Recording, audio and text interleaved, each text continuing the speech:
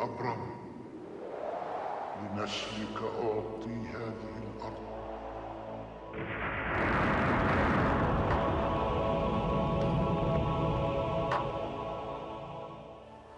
أنا ذاهب. أبرام هكذا ستكون حياتنا في الخيام. سرايا أنت امرأة قوية ويمكنك أن تتغلبي على كل شيء وأنا فخور بك. أنا خائفة يا أبرام. خائفة. لا تخافي. الله لن يضلني. ما زلت أسمع كلماته بوضوح.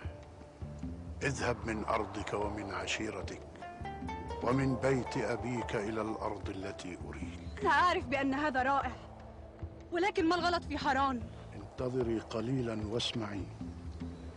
قال سأجعلك أمة عظيمة وأباركك وأعظم اسمك. آه أبرام.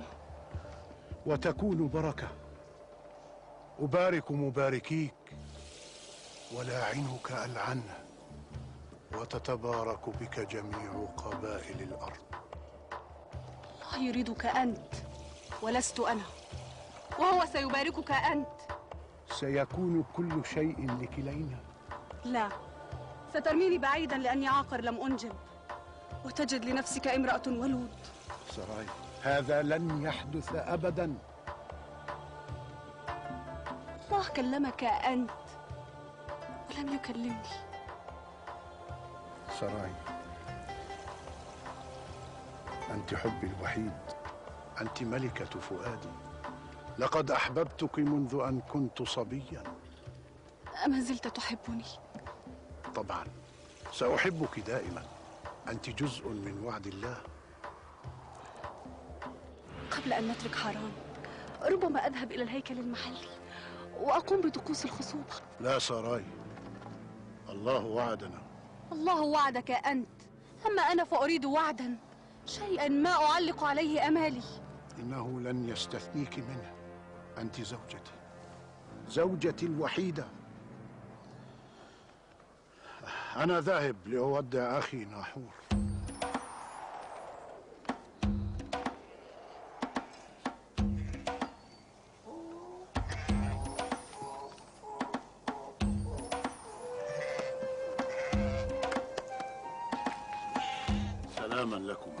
ولك أيضا.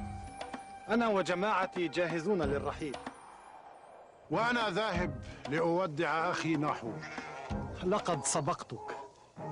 سيدي لوط من الأفضل أن تنتظرنا أنت وجماعتك في شمالي البلد. حسنا. هل جهزت كل شيء للرحيل؟ نعم يا سيدي ولم يبقى سوى خيمة سيدتي ساراي. حسنا. ابدأ بالتحميل على الحمير والجمال. وعندما أعود سننطلق. أمرك يا سيدي.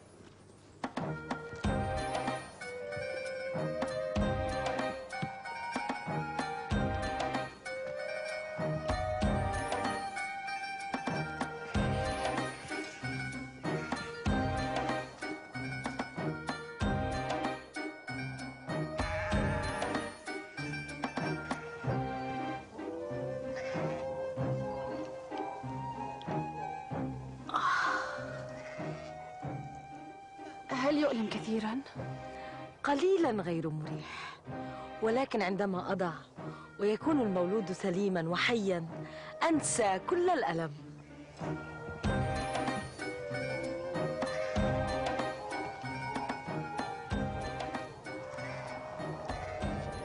ناحور! ناحور! من المنادي؟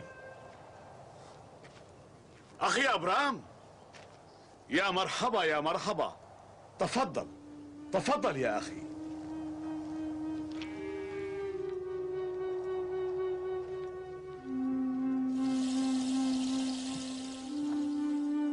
أبرام. يا مرحبا يا مرحبا. أهلا أهلا بك يا أبرام. أهلا أهلا. تفضل تفضل اجلس يا أخي. جئت لأودعك يا أخي. إلى أين ستذهب يا أخي؟ إلى أرض وعدني الله بها. لماذا لا تبقى معنا هنا في حرام؟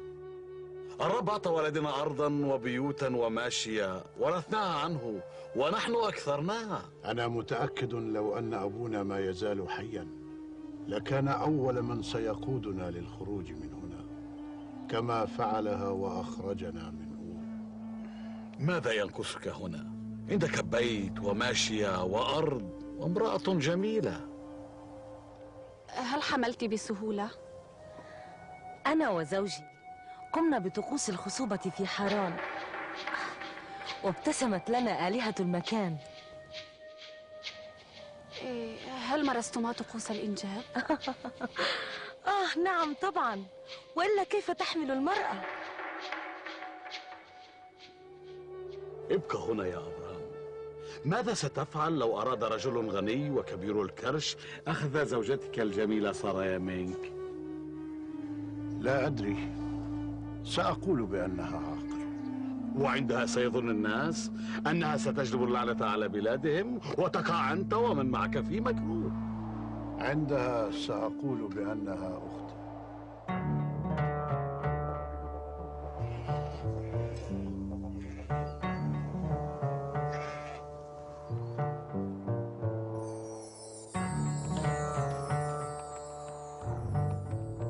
لعلنا نكون قد رزقنا.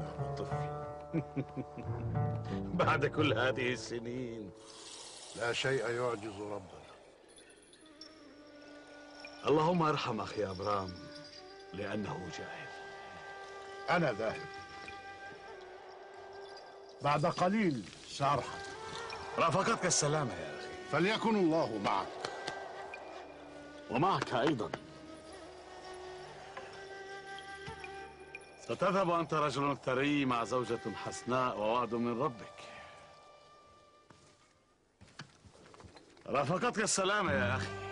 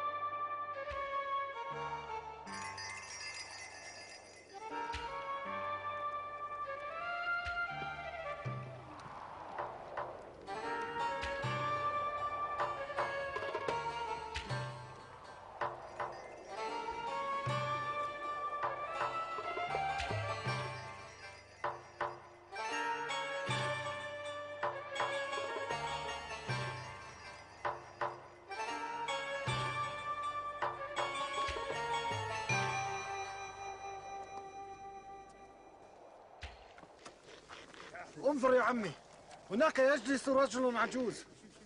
انتظروا هنا. فلينتظر الجميع هنا. فلنذهب إليه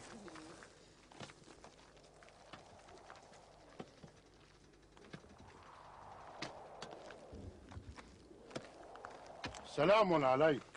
وعليكم أيضا. لمن هذه الأراضي؟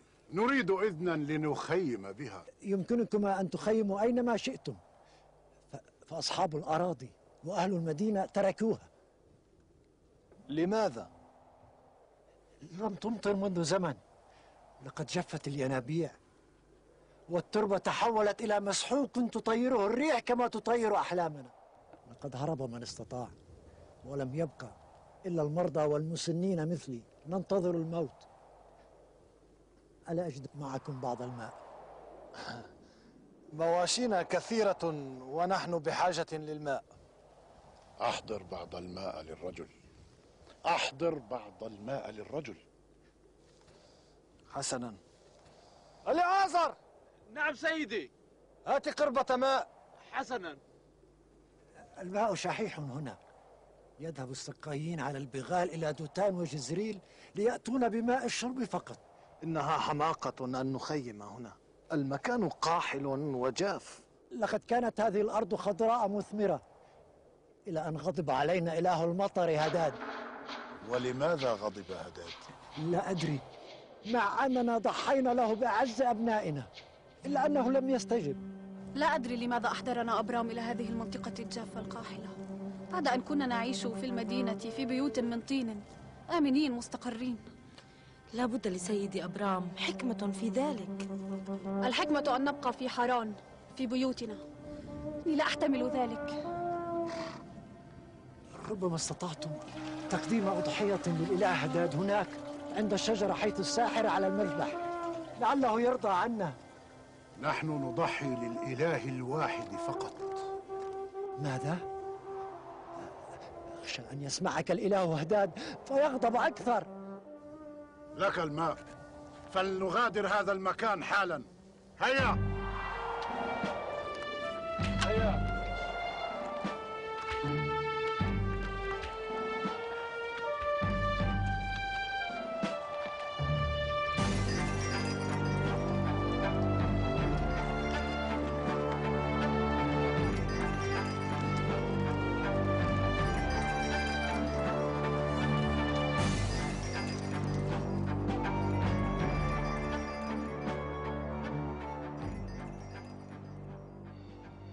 سنبني خيامنا في هذا الوادي. لكن الأمور سيئة هنا يا عمي. أليس من الأفضل أن نعود إلى حران؟ أو أو ننتقل إلى مكان آخر؟ سنخيم هنا بضعة أيام. يوجد حشيش يابس لمواشينا. وغدا أتسلق الجبل وأنظر حولي. سأصعد معك. جهز نفسك. غدا صباحا.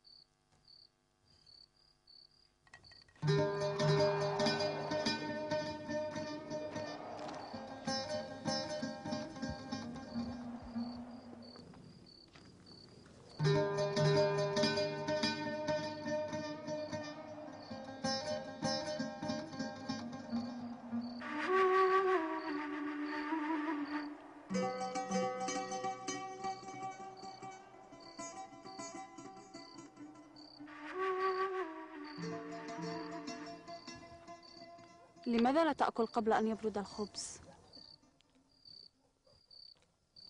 لا أحس بالجوع.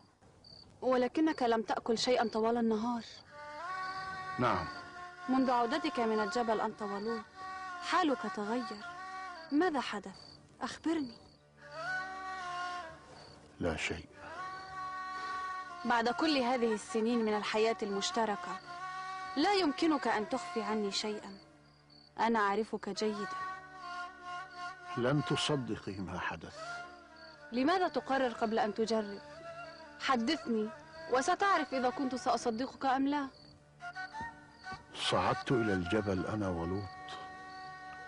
وعندما وصلنا الجبل ابتدأت أنظر حولي أبحث عن موقع أفضل لنخيم به. رأيت منظرا رائعا خلابا لم أر أجمل منه في حياتي. حقا؟ نعم.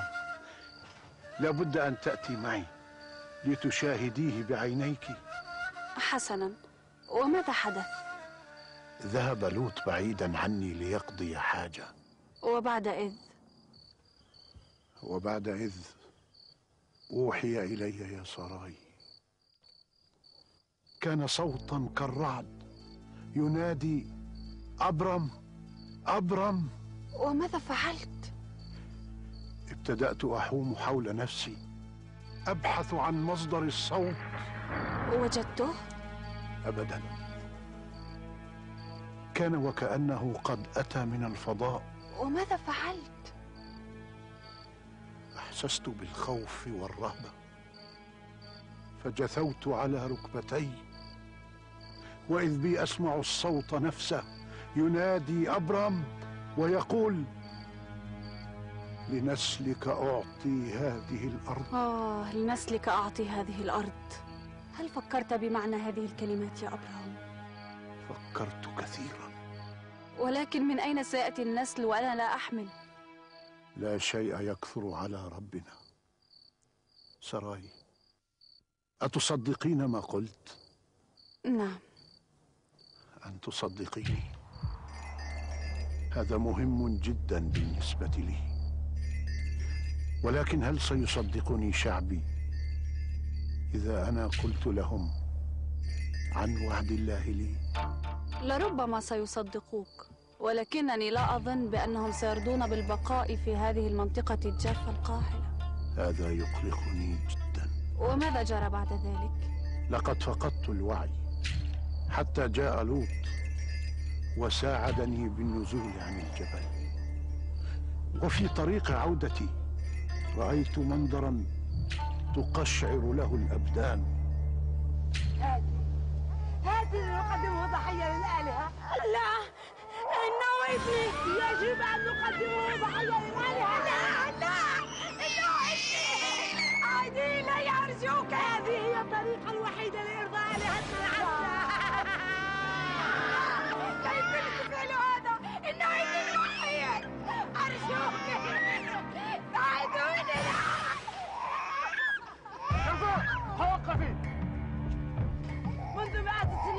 مئات الأضحيات تحت هذه الشجرة ولا يمكنك منعها. إلهنا يحضر تضحية إنسان. لا تخافي رضيعك بأمان مع أبرام ولكن الساحر العجوز لم ترضى بذلك. ومن هذه الساحرة التي تتحدثين عنها؟ إنها تجلس هنا تحت هذه الشجرة. تفتح البخت ولديها تعاويذ ورقى ويمكنها أن تستدعي الشيطان والجن. وسيفعلون ما سنأمرهم به. وحتما ستنتقم منك هيا. هيا. ملعونان ملعونان سأنتقم منكم! سأنتقم منكم! أنا خائفة يا أبرام مما يحدث. لا تخافي يا سراي. الله معنا.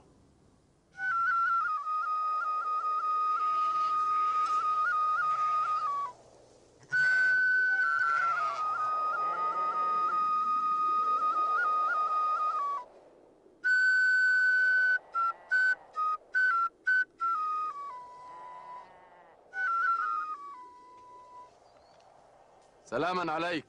وعليكم السلام. لماذا لا تأخذ الغنم وتنزل بهم إلى الوادي؟ أمرك يا سيدي.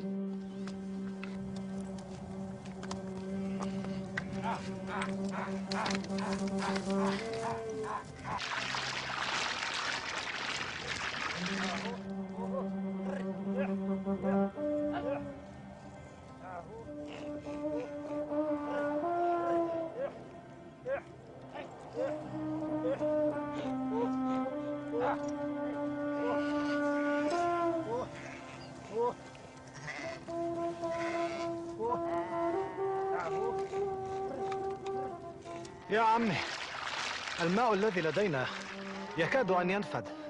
سنموت كلنا عطشا إذا لم نجد الماء. أو ننتقل إلى مكان آخر بسرعة.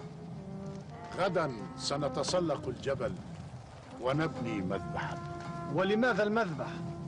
للعبادة. لا وقت لدينا.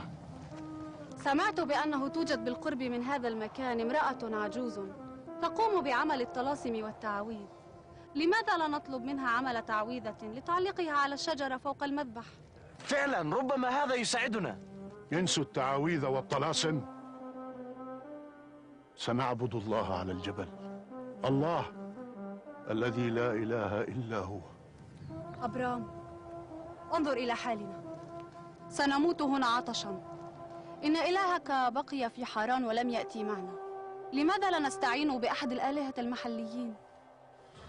سنتسلق الجبل غدا ونبني مذبحا لإلهنا الذي جلبنا إلى هذه الأرض. بماذا ستضحي يا سيدي؟ بحمل لا عيب فيه. سيكون الأمر كما يجب. اليعازر نعم. اختر من مواشينا الأفضل. حسنا. واخبر الجميع. حسنا سيدي. أي.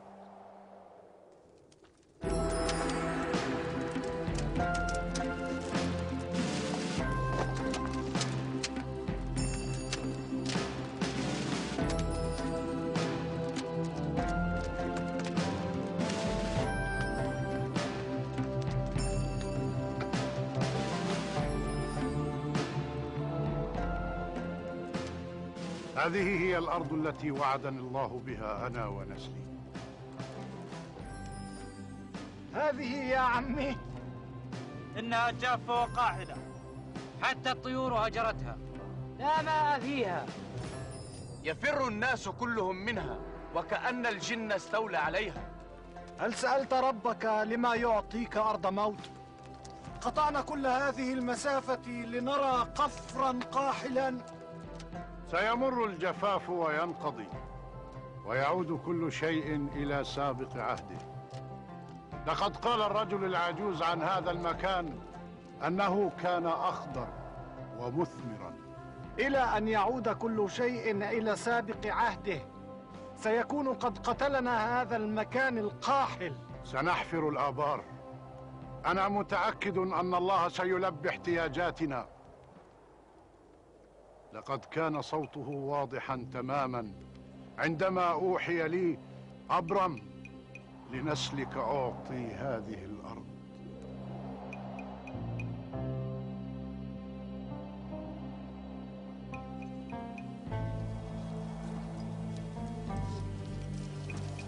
هل يوجد أي علامة للماء؟ لا إنها جافة يا سيدي. يجب أن نحفر حتى نصل الماء. هذا ما نقوم به. استمروا في الحفر. حاضر.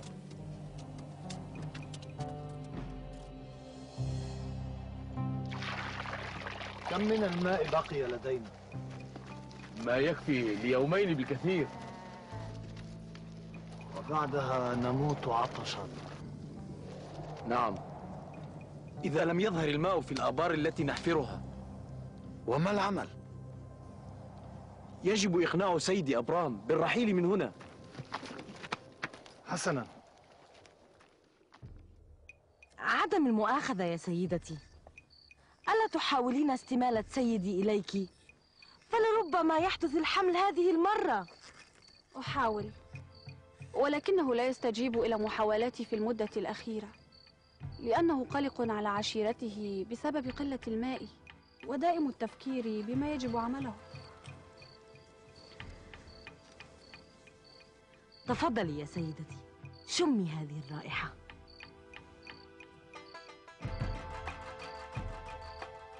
إن رائحة هذا العطر شدية ادهني منه على جسدك. عندها سيكون من الصعب على سيدي أبرام مقاومة هذه الرائحة الرائعة وسيلبي لك ما تريدين منه.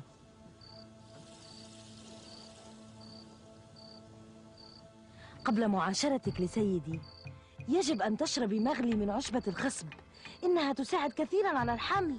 ولولا هذه العشبة ما حملت كل النعاج في القطيع. حقا؟ طبعا. لقد جربت الكثير من الطلاسم والتعاويذ ولم ينفعني شيء. إذا جهز لي بعض الشراب من هذه العشبة. بكل سرور يا سيدتي.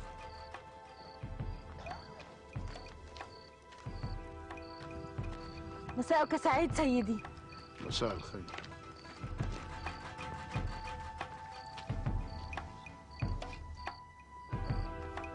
ما هذه الرائحة الجميلة؟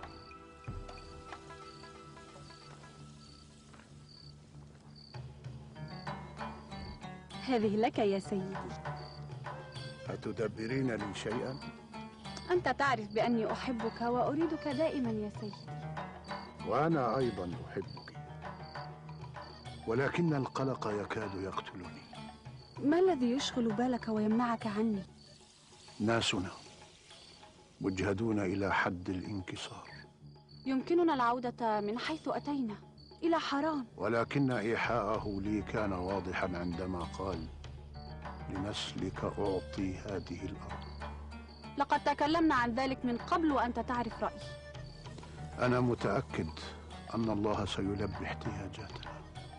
آمل أن يلبي احتياجاتي أنا أيضا. لحظة يا سيدتي من فضلك.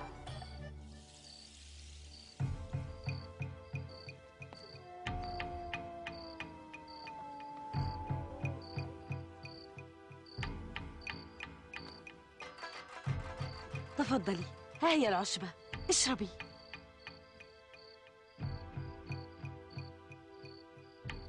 شكرا لك.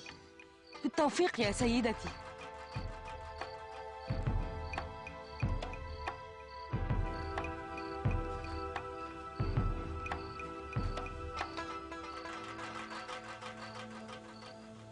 أبرام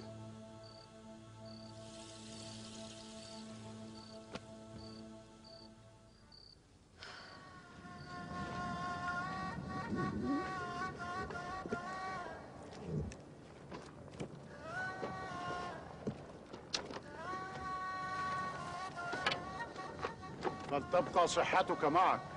ومعك يا سيدي.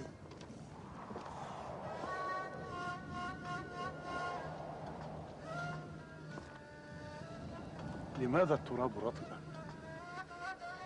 هل رطبت التراب ليسهل عليك حفره؟ لا يا سيدي بدأنا العمل في الصباح فوجدنا في قاع البئر قليلا من الماء ولماذا لم تخبراني بذلك؟ لقد كانت الكمية قليلا جدا ولكن هذا يعطينا الأمل استمروا في الحفر لربما الماء في العمق أكثر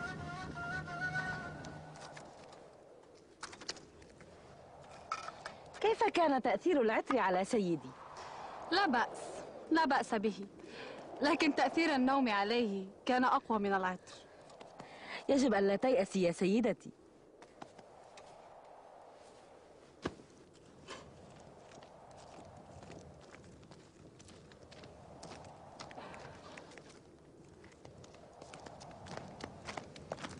سلاما لكما. وعليك أيضا يا سيدي. أين عمي أبرام؟ ذهب ليرى العمال الذين يحفرون البئر. تفضل يا سيدي قطعة من الكعك الطازج. شكرا.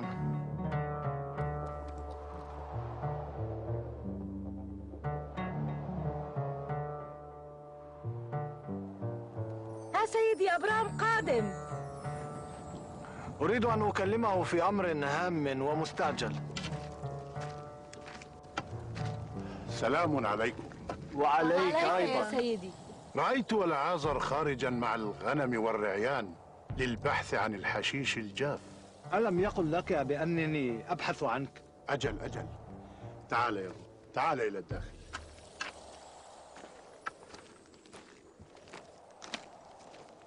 استرح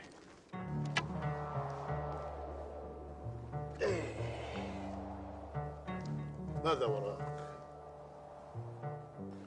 تكلم ماذا هناك؟ يا عمي يجب أن نغادر هذا المكان بأسرع وقت. لم يبقى سوى قليل من الماء. أيعقل أن يهجرني ربي ويتركنا نموت عطشا.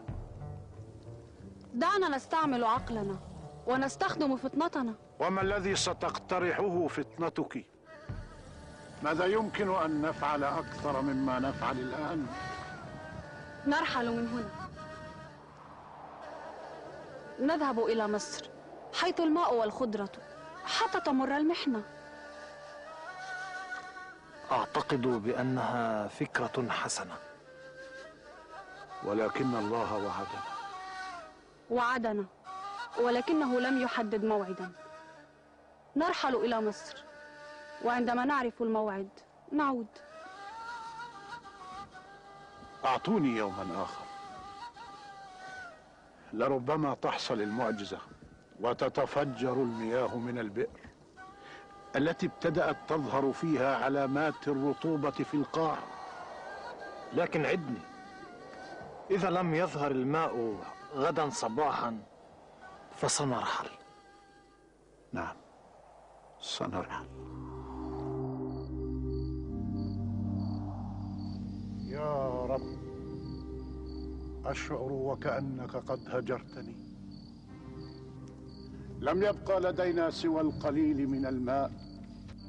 ساعدني على ألا أخالف وعدك. واعلم إذا اضطررت أن أخالف فهذا ليس بمحض إرادتي. وإذا رحلت إلى مصر أرجوك يا رب أن تبارك مالي وحلالي. في نزولي وترحالي.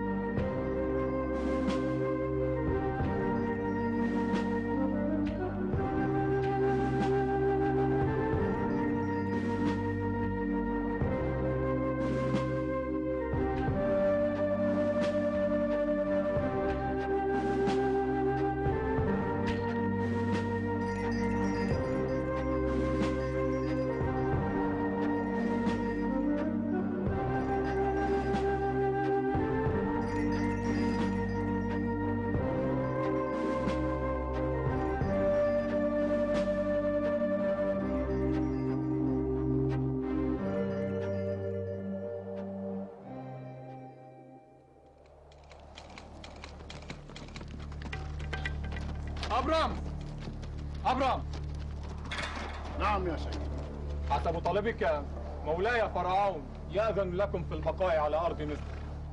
أتقدم بخالص الشكر لفرعون سيد مصر. مولاي يريد أن يتعرف عليكم فهو يدعوك وزوجتك إلى قصره غدا. إنها ليست زوجتي. إنها أختي وهذا ابن أخي لوط. لا بأس.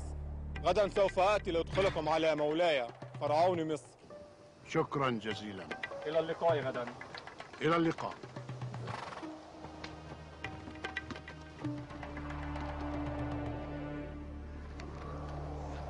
أريد أن أسألك يا عمي لماذا قلت لرسول فرعون بأن سرايا أختك وليست زوجتك؟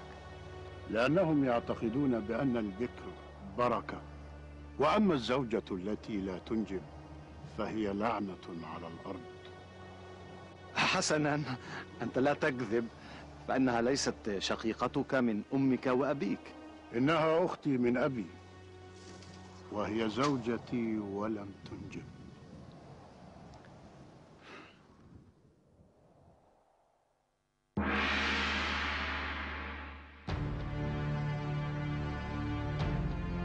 مولاي الضيوف في الباب. أدخلهم.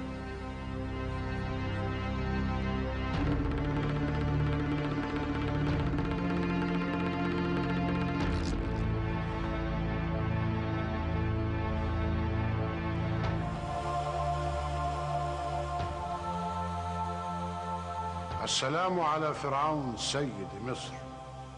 وعليكم السلام. ذاك السيد أبرام وذاك ابن أخيه لوط وتلك الآن السراي أهلا وسهلا بكم. آنسة سراي آمل أن تكون بلادنا قد أعجبتك. جدا يا مولاي.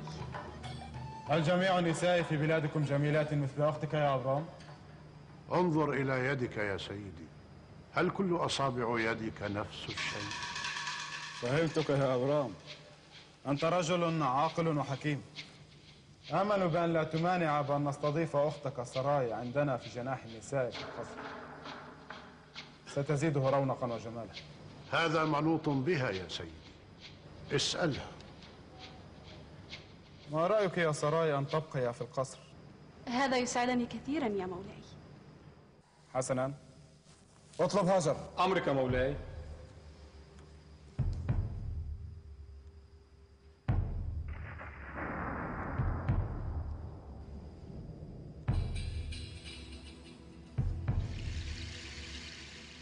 نعم يا مولاي. خذي سراي إلى جناح النساء واحرصي على تلبية كل طلباتها. أعني أعطها كل شيء. كل شيء. أمر سيدي ومولاي.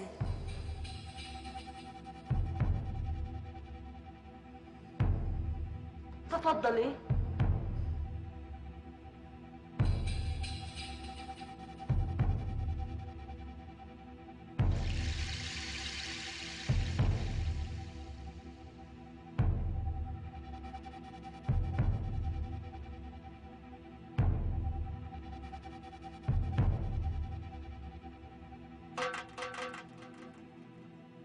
اجلسا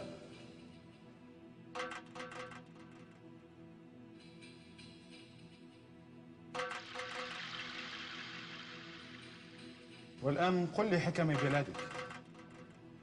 هذا أحد أكثر الأقوال شيوعا ولكنني لا أظن أنه للملوك. لا بأس. أسمعني. يقول المثل من يملك فضة كثيرة قد يكون مسرورا ومن يملك شعيرا كثيرا قد يكون سعيدا. ولكن من لا يملك شيئا ينام مرتاح البال. إن هذا القول للملوك. أي ملك لا يعطي كل ما يملك للحصول على النوم. ومن يستطيع أن ينام ويحمل عبئا ومسؤوليات مثل مسؤولياته.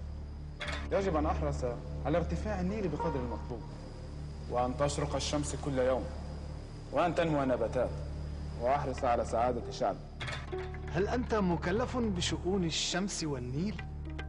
طبعا. إن لم أقم بالتضحيات فلن يحدث شيئا. فقد تصبح الأرض جرداء ومظلمة بينما الناس يبكون ويجعلون حياتي لا تطاق. ولكن يا سيدي في أور يؤمنون بأن الآلهة تقوم بهذه الأشياء؟ هنا أنا الرب. يجب أن أجعل الأشياء تحدث في الوقت المناسب والطريقة المناسبة. تفضلوا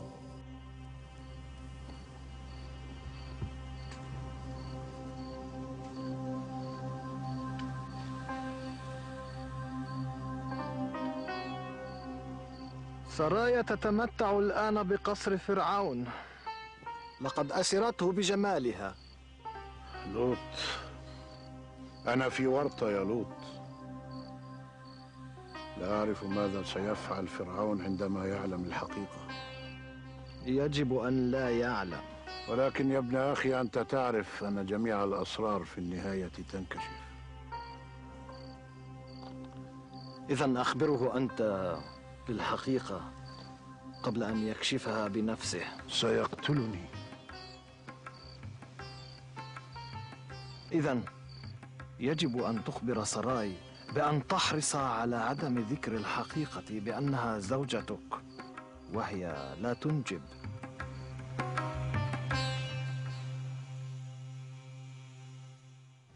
ليت أبرام يراني الآن. أشعر بأنني قد صغرت عن عمري. ويشم شذا عطري ويرى طراوة جلدي ونعومة شعري. أوه المكياج يجعل وجهي شيئا آخر. أبرام. نعم. تتحدثين عنه كأنه زوجك. أشعر كأن ورائك سرا. أليس كذلك؟ كل إنسان عنده سر. أنا لا أملك سرا. لربما. ولكن أنت تملكين. لربما. ألا تريدين الحديث عنه؟ في وقت آخر. أنا متشوقة. احكي لي. اقتربي. اللهم ارحمنا.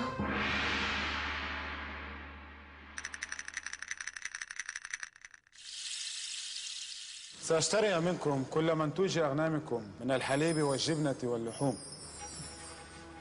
إنها ماشيتك وأغنامك يا سيدي. أنت أعطيتني إياها. لقد كانت أغنامي. الآن كل ما عندك لك. غمرتني بلطفك. شكرا يا سيدي. أعجبتك أجباننا يا سيدي. جدا. لقد أمرت الخزينة بصرف ثمن كل ما سيستهلك بالقصور من منتوجاتكم شكرا جزيلا لك يا مولاي ولكن عندي طلب يا مولاي تفضل.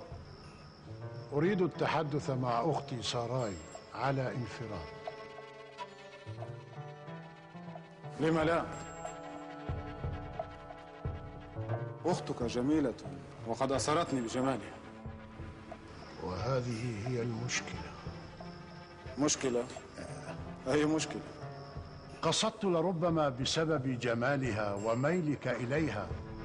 تثير أختي ساراي غيرة نساء القصر اللواتي يطمعن بلفتة منك. اطمئن. من هذه الناحية لا أحد يمكنه أن يخالف ميولي وإرادتي وهذه هي إرادتي. شكرا. خذ سيدك إلى أخته سراي.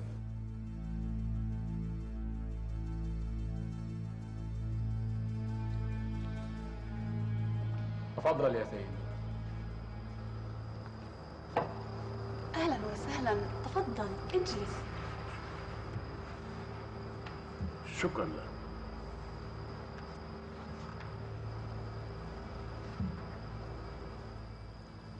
أيمكن أن نتحدث على انفراد؟ لم لا؟ اذهبي.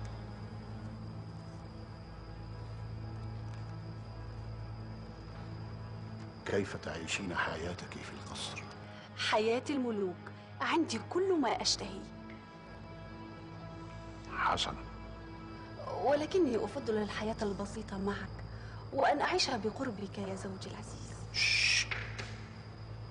لا تقولي زوجي لئلا يسمعك أحد ويعلم فرعون وتكون نهايتنا جميعا. لا عليك لا يسمعنا أحد. قل لي ألا زلت تحبني؟ كما أحببتك دائما وأكثر ومتى سيكون في أحشائي جنين منك؟ عندما يأذن الرب ألا يزعجك وجودي بالقصر؟ جدا ولكن ما العمل هكذا حكمت الظروف أريدك أن تعلم بأنه مهما حصل فأنا بقية على عهد الحب والزواج منك سراي أشعر وكأن كل ما يحدث لنا هنا في مصر بسببي. لا تحمل نفسك كما يجري. بل يا سراي أنا لم أسمع كلام الرب ولم أبقى على الوعد. لماذا لا تقول بأن المجاعة التي واجهناها في الشكيم كانت تخطيطا من الرب لكي نأتي إلى مصر ونمر بتجربة أعظم؟ لا أعتقد.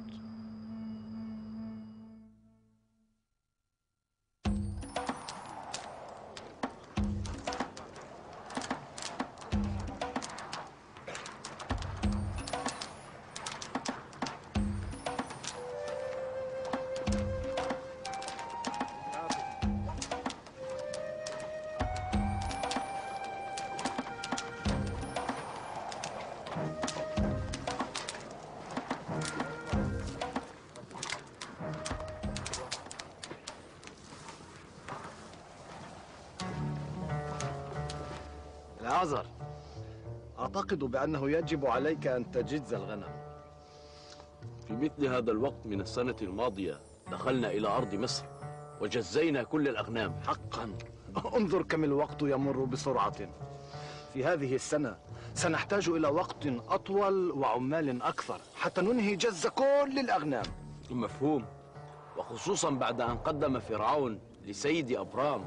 هدية أكثر من خمسمائة رأس من الغنم. ونسيت الجواميس والجمال. لا كيف أنساها؟ وأنا مسؤول عنها أمام سيد أبرام. ولكن حمدا لله بأن الجواميس والجمال لا تجز. إن فرعون أصبح الصديق الحميم لعمي أبرام. ولا يرفض له طلب ما هذه الأصوات؟ قم لنرى لنرى كفى كفى كفى لماذا تتقاتلا؟ أن أسقي أغنام سيدي أبرام فملأت الأشجار بالماء وذهبت لإحدى الأغنام فإذ به يأتي بأغنام سيده لوط ويسقي من الماء الذي رفعته أنا وهذه ليست أول مرة لماذا تفعل ذلك يا رجل؟ انبثقت على أيام فتحت ضربت أغنامنا. عملت عدة ساعات لكي أحضرها هنا ربما لم يكن قاصدا ذلك. قاصدا. اضربني.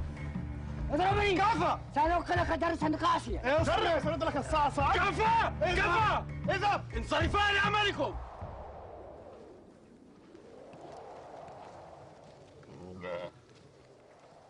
لقد سئمت من المشاجرات بين رعيانك ورعيان سيد أبرام.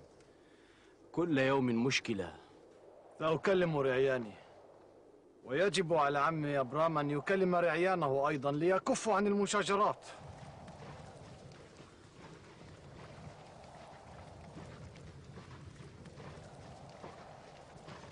لقد تأخرنا بالحلب اليوم.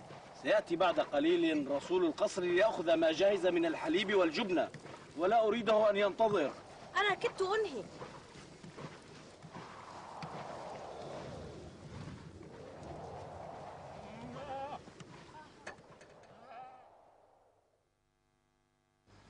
قل لي أيها الطبيب ما سبب هذه البثور التي تنتشر على وجهي ووجوه كثيرين في البلاط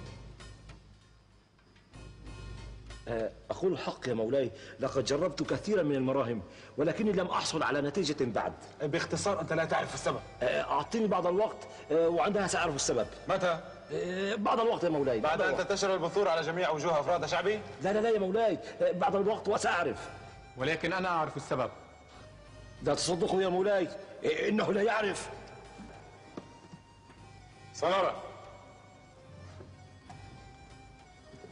إذا كنت تعلم. نعم يا مولاي. لأنه توجد هنا في القصر امرأة متزوجة وعاقر من هذه المرأة؟ سراي التي قال أبرم عنها إنها أخته. أمتأكد مما تقول؟ سمعت أبرم يتحدث إلى سراي زوجته. ولماذا لم تخبرني؟ لم أعلم أهمية ذلك يا مولاي. اذهب واحضر هاجر إلى هنا الآن. أمرك يا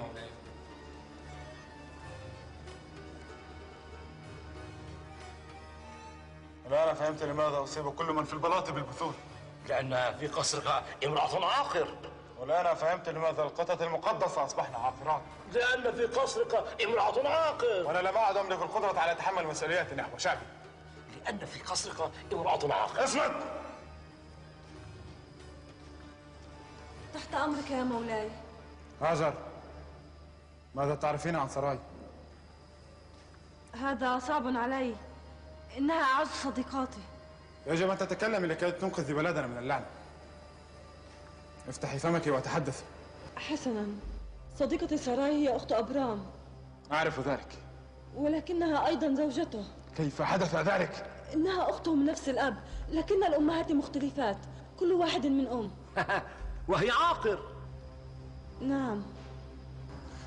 هذا الغضب بعينه. اهدأ يا مولاي اهدأ. الغضب سبب كل علة. اذهبي واحضري إلى هنا الآن. حاضر. ما العمل الآن؟ اهدأ. اهدأ يا مولاي. إذا عرفنا السبب يجب أن يزول الغضب. ولكن لماذا فعل ذلك يا صديق بي أبرام؟ آه، سنسأله وعندها سنعرف السبب. مرني يا مولاي.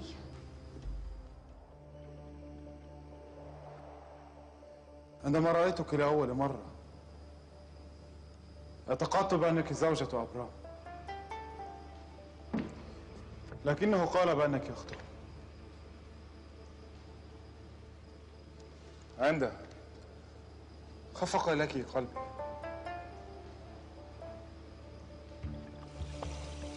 وكنت في نظري أجمل من زهرة اللوتس. ورقة من النسيم وأعذب من ماء النيل.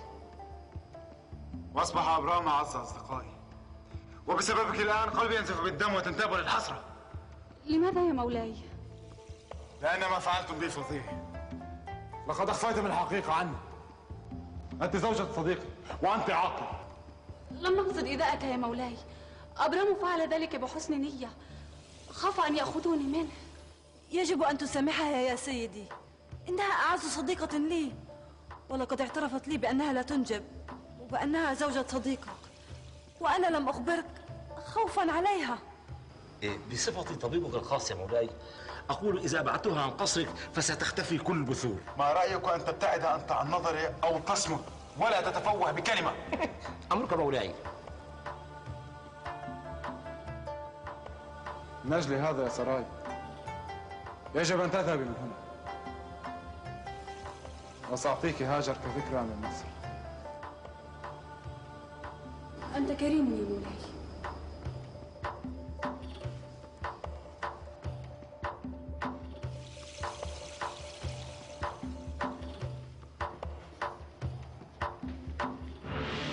خذي زوجك واخرجوا من بلادي.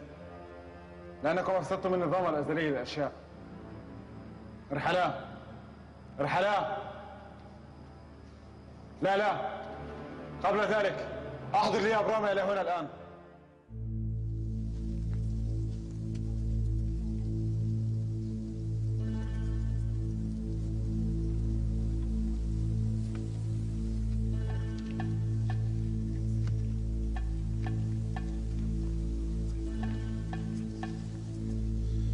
سراي. هل غيرت مصر قلبك مثلما غيرت مظهرك؟ لا ولكني ظننت أنك ستحب مظهري. أرى أنك لا تبالين بمدى حرجي أمام فرعون. حرجك؟ وماذا أقول أنا؟ لم أتعرض لمثل هذا الإذلال في حياتي كما تعرضت له اليوم أمام فرعون. بسبب عدم إنجابي. يجب أن نكون شاكرين. كان يمكن لفرعون أن يأمر بموتنا. ما كان كل هذا ليحدث لو وفى ربك بوعده؟ وعده. نعم بأن يرزقنا طفلا. سراي. سراي. اعتبرني المصريون في القصر لعنة. أنا التي جلبت عليهم كل المصائب. لا سراي. الرب الذي جلب المصائب على المصريين لينقذك. لعلمك فرعون عمل أكثر لإنقاذي لا تقولي شيئا كهذا. على الأقل فرعون أعطاني هاجر هاجر.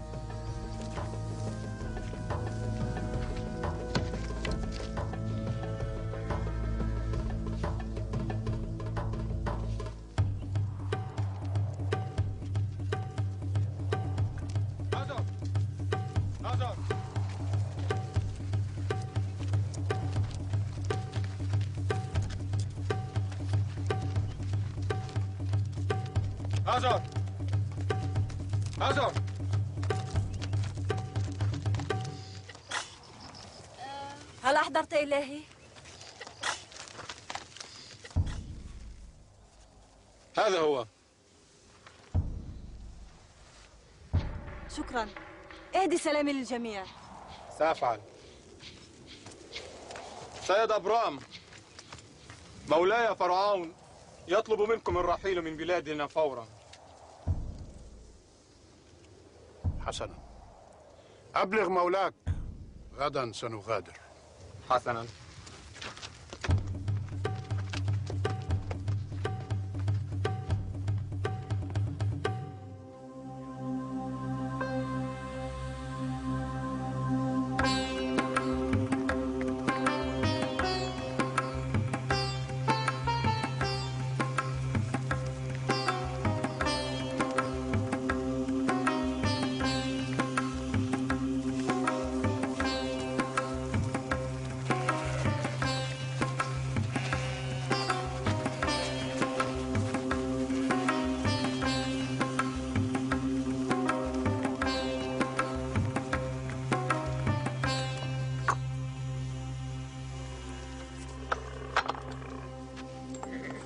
نبدأ من حيث كنا قبل الرحلة إلى مصر.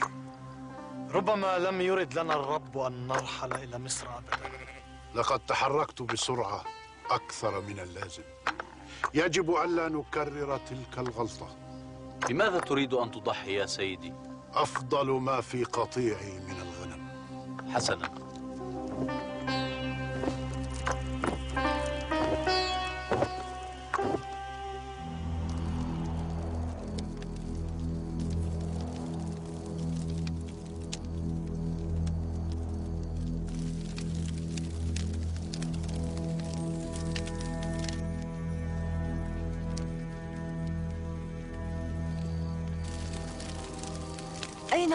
هذا الرب الذي يعبدونه؟ لا يمكن أن يراه أحد إنه كالريح لا توجد له صورة؟ صورة؟ كلا لم أره في حياتي إذا كيف يعرف سيد أبرام أن هذا الرب موجود؟ لا أدري ولكنه يقول بأن هذا الرب يكلمه ويبلغه أشياء ويعطيه وعودا رائعة وعودا؟ وعد الرب أن يعطي هذه الأرض إلى أبرام ونسله. قلت نسله؟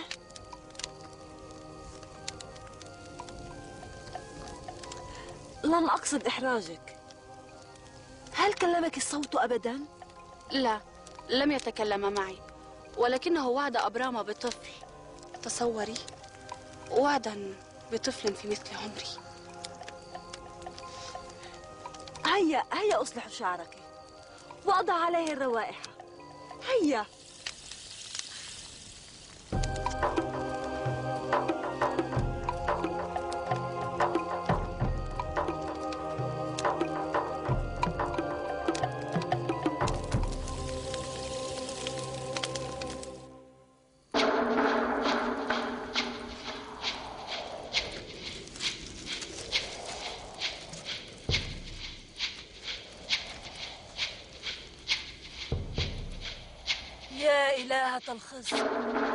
ارزقي سيد أبرام ابنا كما رزقت فرعون بالأبناء.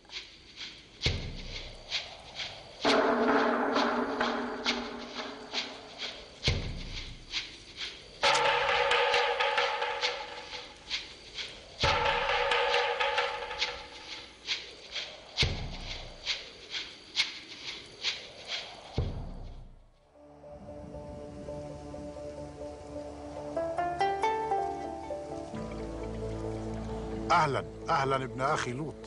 سلام لك يا عمي. تفضل اجلس.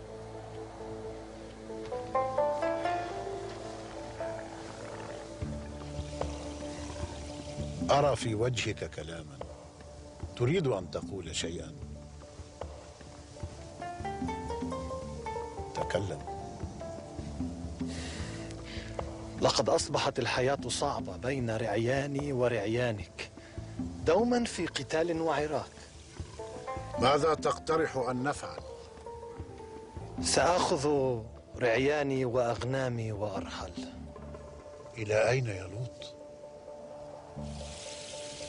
إلى أراضي السهل في في مدينة سدوم. إذا أردت أنا سأرحل. لا يا عم ابقى أنت هنا. فأنا أحب حياة المدن. سأرحل بعد بضعة أيام. حسنا ولكن ليس قبل أن نعقد اتفاقا. كما تشاء يا عمي كما تشاء.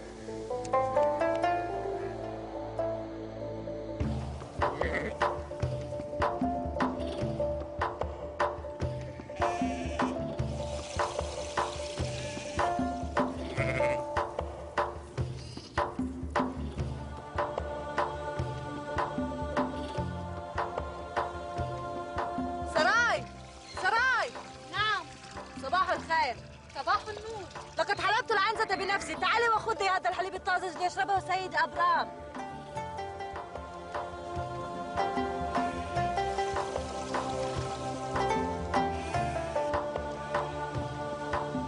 يهمك كثيرا أبرام؟ لقد أوصاني سيدي فرعون أن أهتم به وأخدمه كل حياتي. سأخبز له بعض الخبز للفطور. حسنا.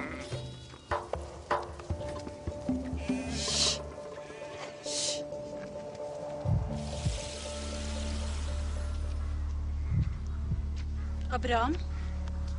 أبرام. أبرام ما بك؟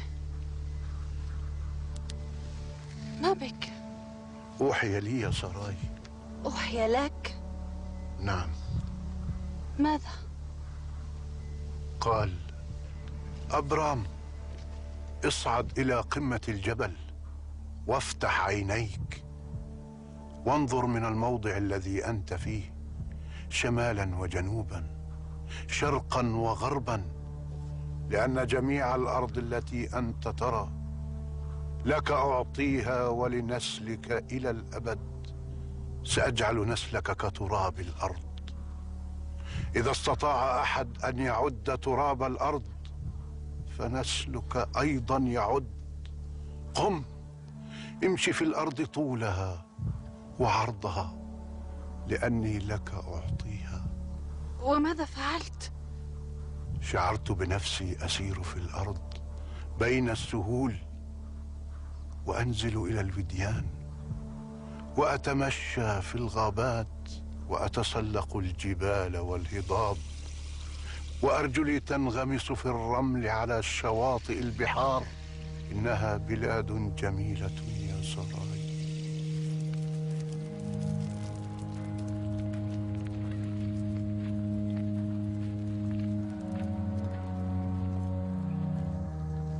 صباح الخير سيدي.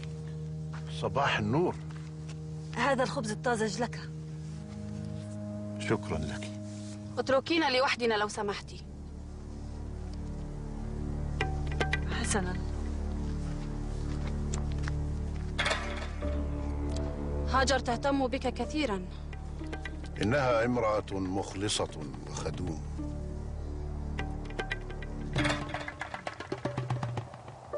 هل أنتما مستعدان لعقد الاتفاقية؟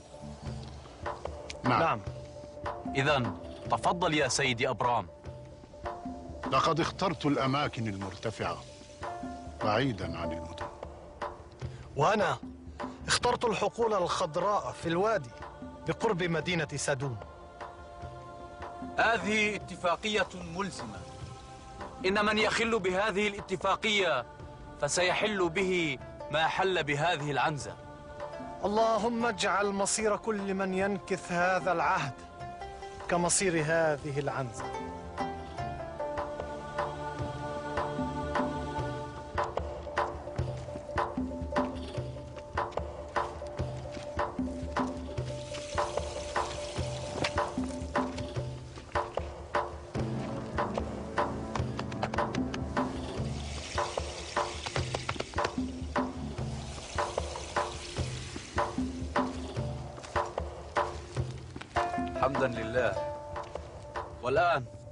أحضروا الذبيحة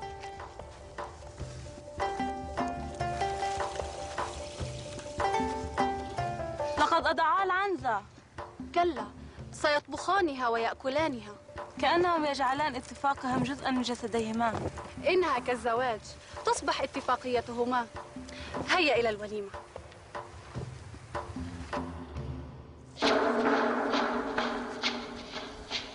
لا تفعلين ما أطلبه منك. فما نفعك.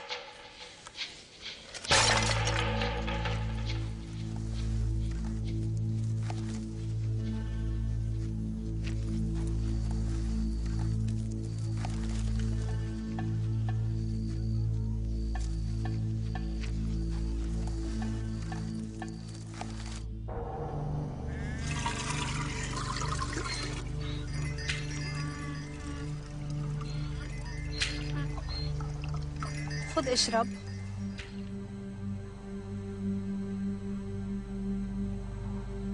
هنيئا.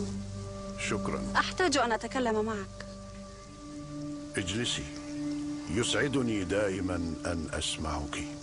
قلبي حزين يا أبرام لأنه يتوق لنبض الحياة في داخلي. سراي تأملي خيرا. من أين سيأتي هذا الخير؟ الله وعدك.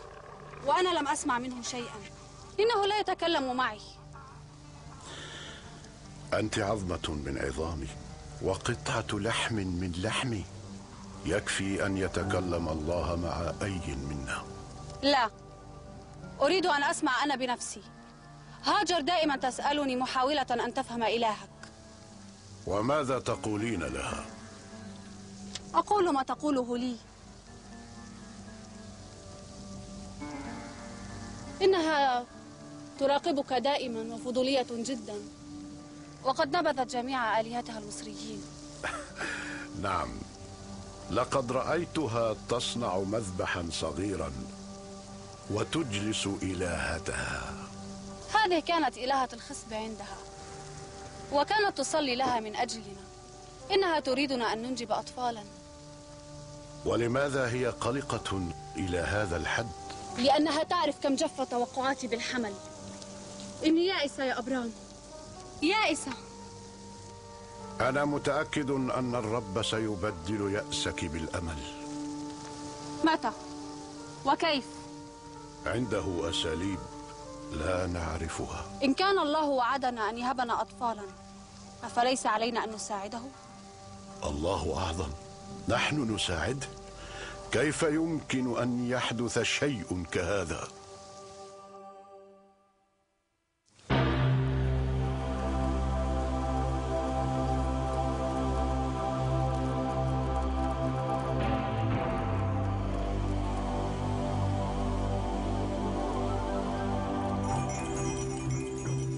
أيها السيد الرب ماذا ستعطيني؟ وها أنت ترى أني من غير عقب. والذي سيرث بيتي ألعازر الدمشقي. يا إلهي لم تعطني نسلا. واسفاه ألعازر وريث الوحيد وقد أوحي لأبرام وسمع صوت يقول له ألعازر لن يكون لك وريثا. بل الذي يخرج من صلبك يكون وريثك قم واستمع. انظر إلى السماء وعد النجوم. إن استطعت أن تعدها هكذا يكون نسلك. وأجابه أبرام وأنا أصدقك من كل قلبي. واستمر الوحي من الله بقوله أنا هو الرب الذي أتى بك من أور الكلدانيين لأعطيك هذه الأرض ميراثا يا سيدي الرب كيف أعلم أني سأرثها؟ خذ لي عجلة عمرها ثلاث سنوات وعنز عمرها ثلاث سنوات وكبشا عمره ثلاث سنوات ويمامة وحمامة أو زغلول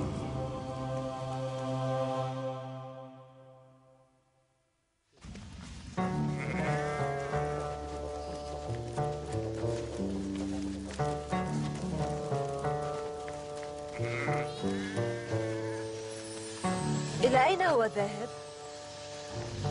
أمره الله أن يفعل شيئا. أي شيء؟ سيعقد اتفاقية مع أبرام. سيعمل اتفاقية مع الله. أبرام يصفها تقريبا بهذه العبارات عندما يتحدث معي عنها. يعقد اتفاقية مع الله. يا لها من فكرة غريبة. الله لا يتكلم معي. ولذا أنا لا أعرف عنه شيئا. سوى ما يخبرني به أبرام. أريد أن أذهب لأرى. كيف سيعقد سيد أبرام اتفاقية مع ربه؟ لا اذهبي أنت وعنات واحضري بعض الماء من البئر. أريد أن أغتسل. حسنا ولكن بعد ذلك تسمح لي بالذهاب لمشاهدة ما يجري مع سيد أبرام؟ أحضري الماء أولا وسنرى.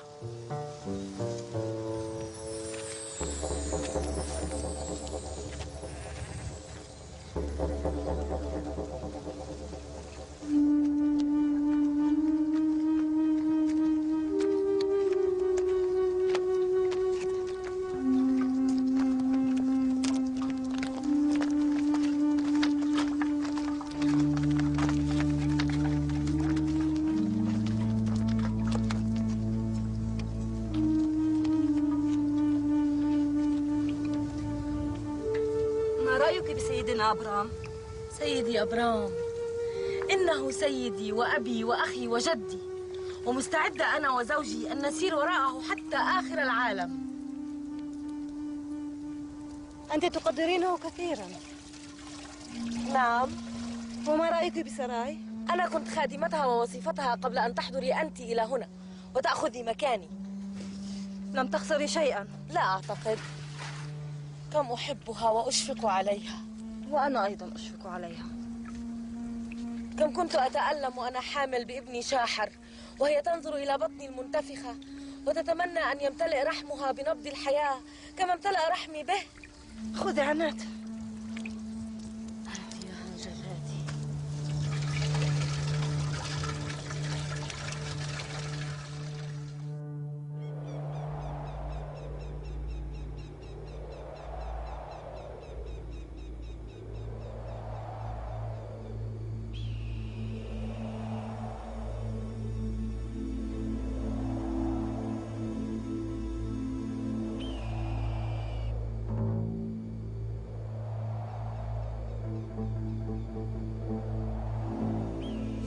ماذا تفعلين هنا؟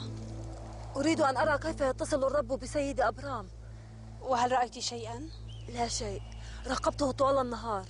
وكان كل من جذب لوليمة عهده هو الطيور الجارحة مسكين أبرام. أبرام المسكين. لا أستطيع المشاهدة.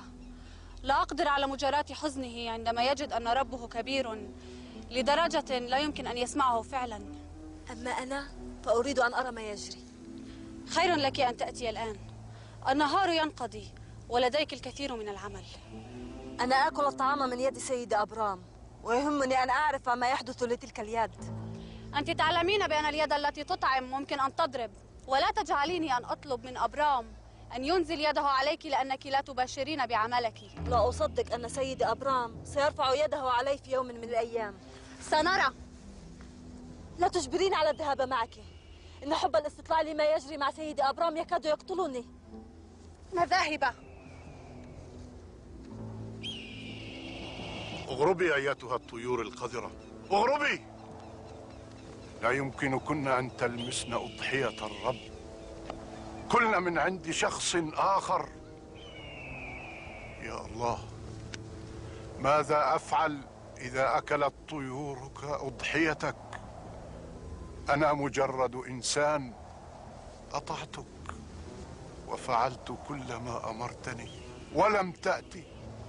أين أنت؟ بدأت أضحيتك تتعفن. وأنا مجرد إنسان. ماذا يمكن أن أعمل أكثر مما فعلت؟ يجب أن تأتي. وإذا لا أعطني على الأقل إشارة. أنا تعب ومرهق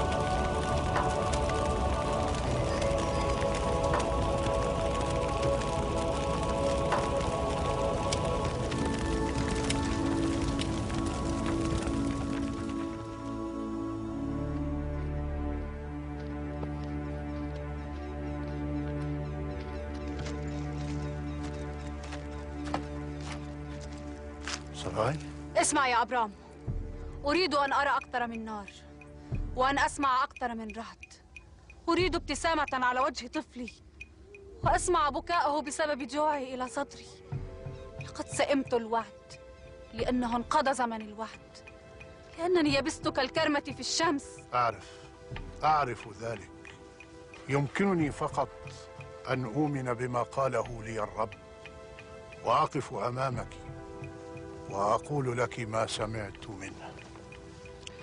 إن كنت سأطلع بنصيب من هذا يتعين عليه أن يتحدث إلي. سراي إن كان الله سيكلمك هل تستطيعين سماعه مع كل هذا الضجيج المنبعث من قلبك؟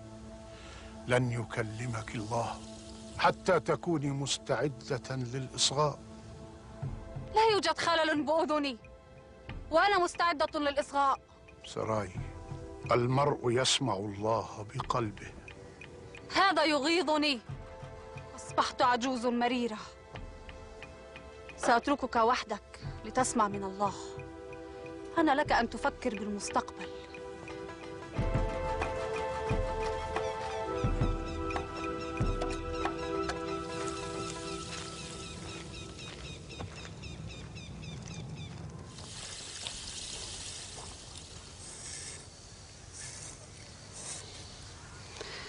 أعرف كيف يحبه. هل أنت متأكدة من أن هذا ما تريدينه؟ أنا خائفة سيدتي. أوه هاجر كفى. الرجال هم الرجال. أبرام سيفعل ما أطلب منه. ليس سيدي أبرام هو همي. ولكني أخشى أن تندمي في المستقبل على ما أنت فعلته الآن. وتبدأي بلومي. لا عليك. أنا أعرف ما أريد. شكلك يسرني بما فيه الكفاية الآن. سأذهب إلى أبرام.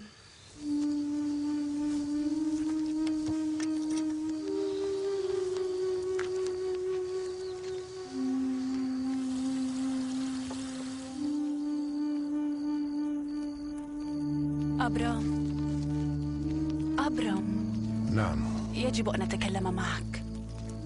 ألا يمكن تأجيل الكلام إلى الصباح؟ كلا. هذا أمر لا يمكن أن ينتظر. أنا تعب جدا من جز الغنم طوال اليوم. ليس هذا الأمر. إنك تشبهين أميرة صحراء أحلامي كل يوم. أكثر فأكثر. كفاك. فكرت طويلا ومليا بما أوشك أن أفعله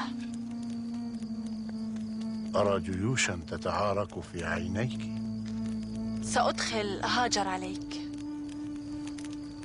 لا. أريد طفلا. لقد قررت. أريد الوعد. والليلة عندي الحل. ساعدني على تنفيذه. هاجر مستعدة لك يا سيدي. سراي. لا يمكن أن أفعل هذا. من أجلي أبرام. أعمل ذلك من أجلي. لما تحرمني من أية فرحة أبدا؟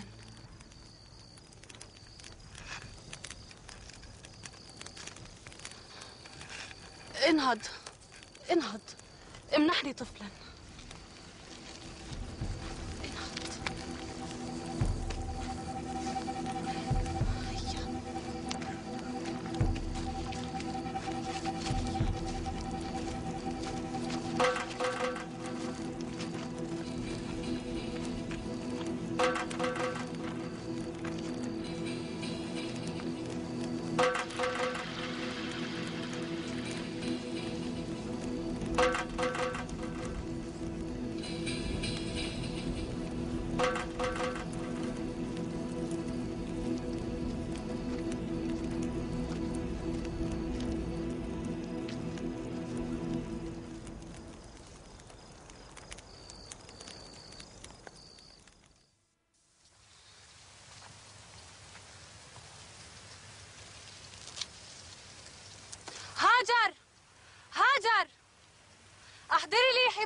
قوية.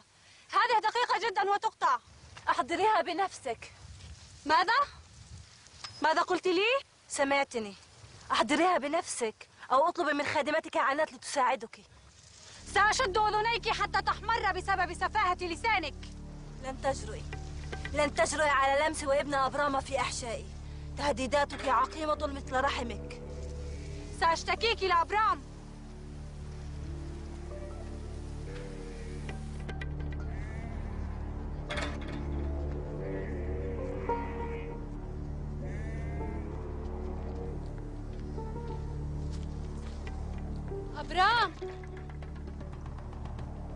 أبرام ماذا هناك؟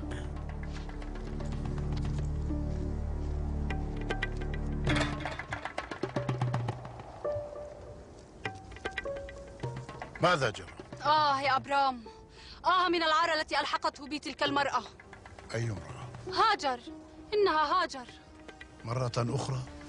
ألحق عليك لأنك لم تعنفها على معاملتها لي قلت لك مرات ولكنك لا تفعل شيئا أنا التي أعطيتها لك وجلبتها لك لتحمل لك وريثا وهذه هي الطريقة التي أعامل بها؟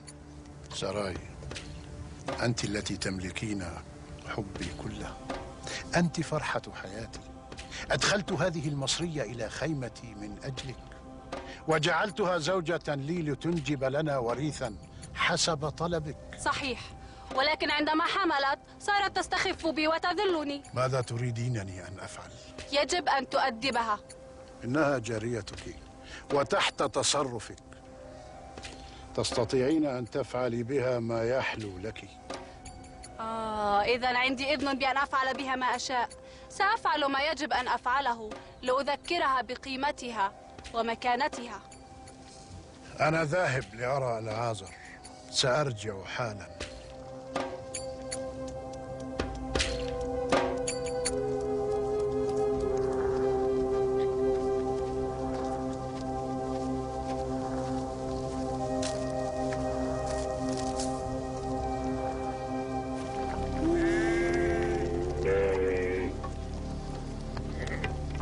ستنهين شد هذه الأعمدة وستفعلين ذلك جيدا وتفعلينه بدون تذمر.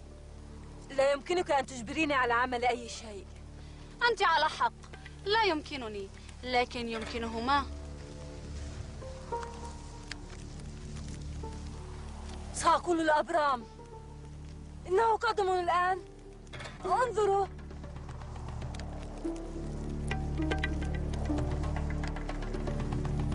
أبرام. أبرام. أبرام. رأيتي؟ لقد ولاني أمرك. أفعل بك ما أراه مناسبا. أنت عجوز مريرة حاقد. تستحق العقم.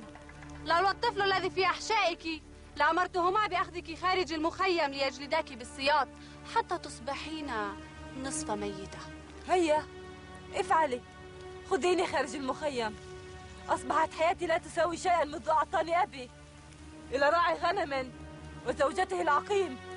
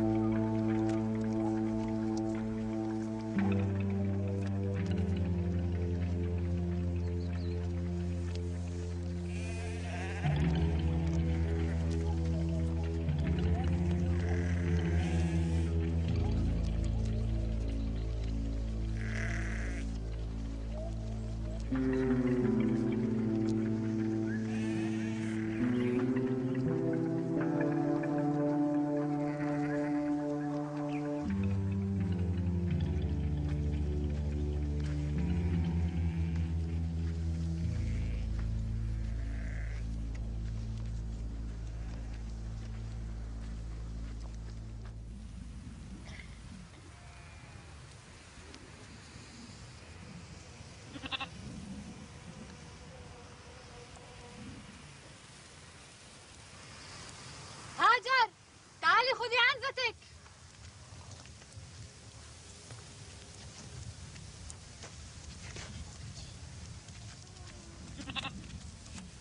هاجر.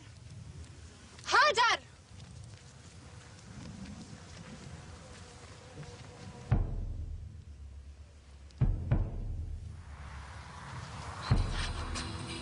أين ذهبت؟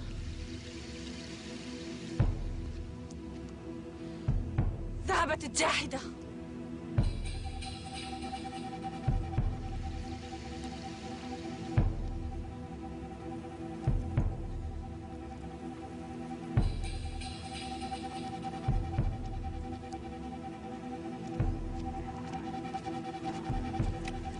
انحطاه وأنتما ما نفعكما؟ أعطيتكما إياها لتحرساها فتسمحان لها بالخروج من المخيم تحت نظركما أيها الكسولين يجب أن أفعل كل شيء هنا بنفسي اذهبا وابحثا عنها أمرك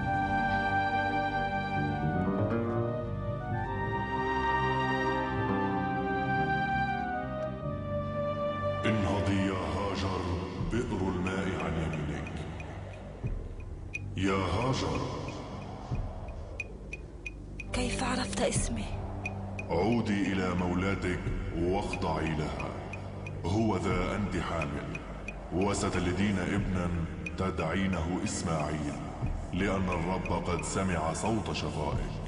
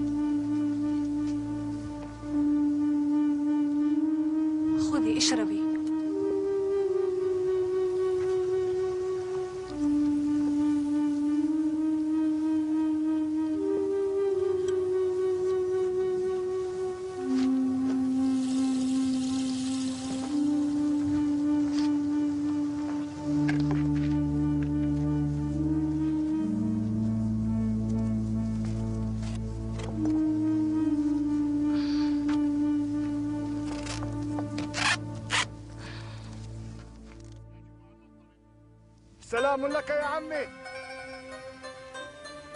وعليكم أهلا أهلا كيف حالك؟ على مهلك على مهلك. يا مرحبا يا مرحبا. أهلا ابن أخي أهلا أهلا. لقد كنت أعلم أنك ستأتي اليوم لزيارتنا. لقد جهزت لك الطعام والفراش. تفضل.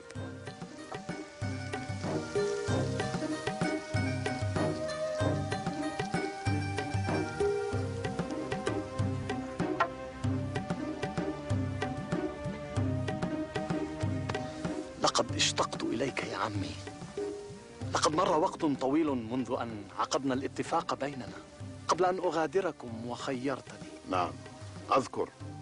عندما خيرتك بين الأراضي المرتفعة والمنخفضة كنت أعلم أنك ميال إلى سدوم وها أنت قد تزوجت من بناتها.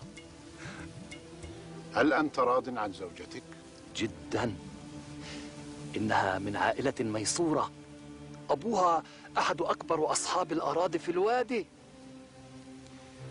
كيف حال بناتك؟ يقبلون يديك ويهدونك السلام. أحضرهما لزيارة سراي. في الحقيقة يا عمي لم أرد أن أثير غيرتها. مم. نعم. جواب حكيم. ولكنك كل سنة تأتي وتقول نفس الشيء.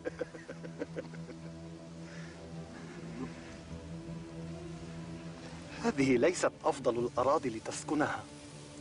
لا أريد الاقتراب من المدن لأنها ملوثة برائحة الأصنام والشر آه، تلك هي حياة المدينة. عندما يجتمعون الرجال سيكون دائما شررون وخيرون. لذلك أنا أفضل البقاء هنا. مارا لن تقبل أن تغادر سدوم وأنا كذلك لا أستطيع مغادرتها.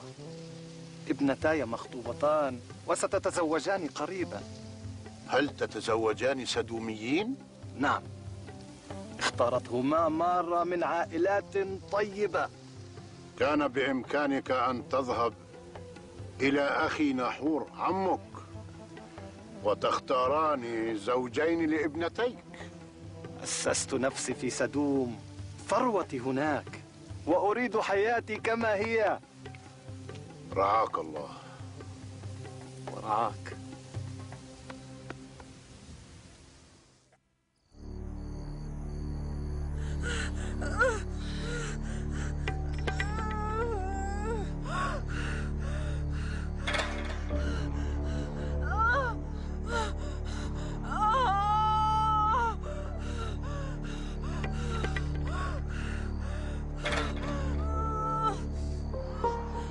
اذهبي إلى خيمة أبرام وقولي أن هاجر ستضع ودعيه يحضر إلى هنا. أمر مولاتي سيدي أبرام سيدي أبرام سيدي أبرام. ماذا هناك؟ هاجر ستضع طفلها الآن. وسيدتي ساراي تطلب منك أن تحضر حالا. حسنا. اذهبي وسألحق بك حالا. حسنا. لوط يا ابن أخي قم. هاجر أنجبت بكري. هيا.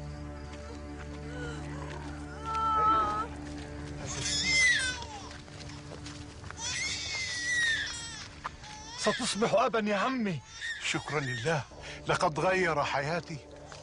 لم تعد حياتي كما كانت أبدا. أتعرف ماذا يعني أن أكون أبا للمرة الأولى؟ أبرام. أبرام. تعال وانظر. ولدي. ولدي. لقد سمع الرب واستجاب. سأسميه إسماعيل. الرب سمع صوت شقائنا. وأوجد واحة في الصحراء. أليس هو جميل؟ ولدي. ولدي. كان الرب بحاجة إلى بعض العون. ذلك كل شيء.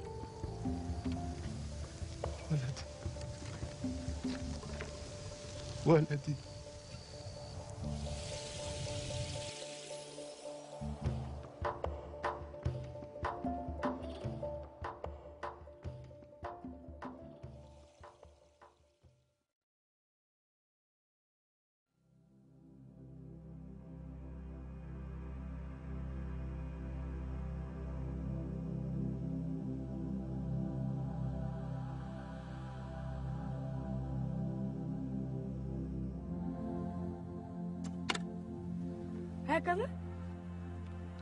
عافاك يا إسماعيل إنك تتعلم بسرعة. أريدك أن تتذكر دائما أنه يجب أن يبقى السهم والذراع والهدف في نفس الخط.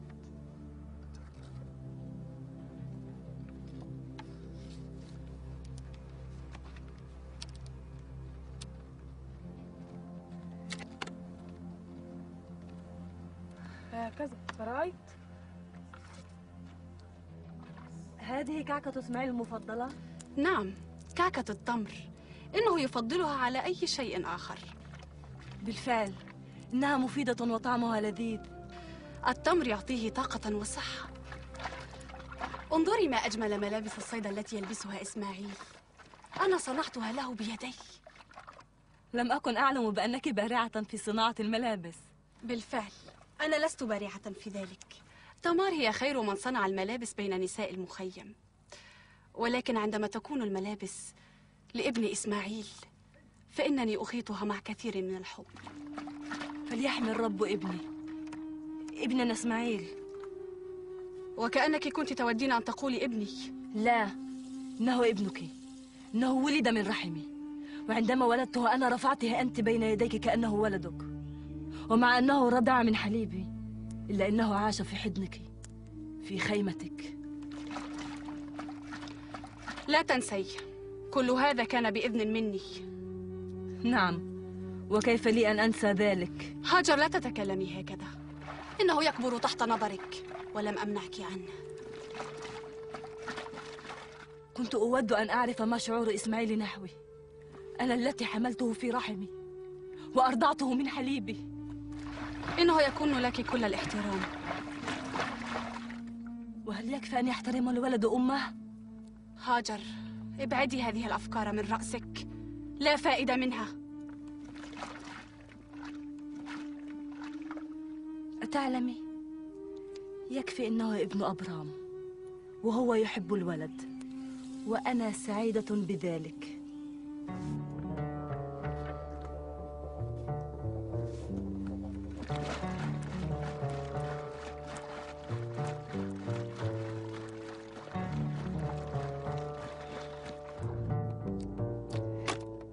بصرك حاد يا إسماعيل. شكرا يا أبي. أمارس الرماية بجد. نعم. أراك هنا ليل نهار ولعازر معلم جيد. هذا بفضل الرب. أريد أن أكون الأحسن. نعم يا سيدي بإمكانه أن يكون الأفضل. يجب أن يخرج إسماعيل للصيد. إنه قوي بما فيه الكفاية لتحمل عبء الرجال. ما رأيك يا إسماعيل؟ نعم يا أبي. أنا جاهز للصيد. لقد تعلمت من العظة كل ما يجب. إنك تسعدني يا بني. ذلك ما أبغيه يا أبي. فليحفظه الله لك من كل مكروه. شكرا لك. تعال معي يا لعازر أريد أن آخذ الولد غدا للصيد. هذا سيكون لمنفعته أن يصوب السهام إلى أهداف متحركة. أنا فخور به. بالفعل هو ابن الوعد. لقد وضعت كل ذاتك في هذا الصبي ولا يوجد أب يستطيع أن يفعل أكثر مما فعلت. ولا تنسى ساراي بالطبع بالطبع.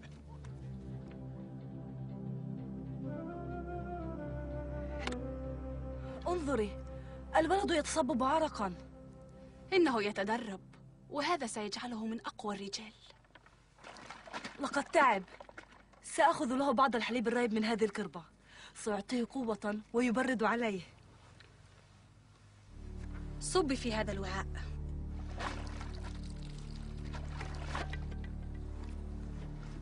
أعطني الوعاء لأخذه له. لا أنا سأخذه.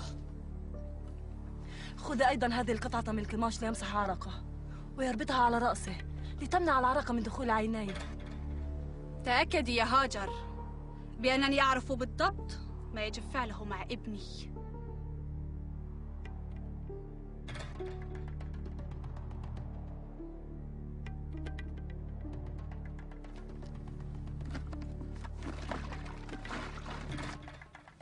خذ اشرب يا حبيب أمك. شكرا يا أمي لقد أتيت في الوقت المناسب.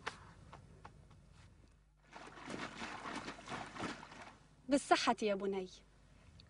دعني أمسح لك العرق عن وجهك. هاتي عنك يا أمي أنا أمسح عرقي. دعني أربط لك هذه حول رأسك لتمنع العرق من دخول عينيك. بالفعل كانت عيناي تحرقاني بسبب العرق.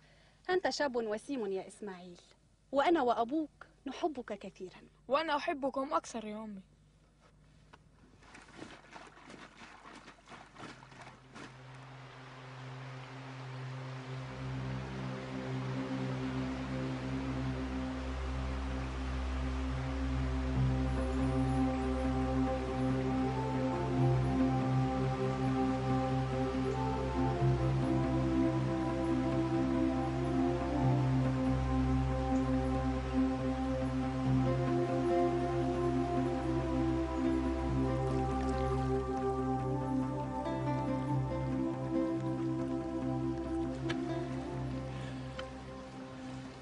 اذهبا للصيد.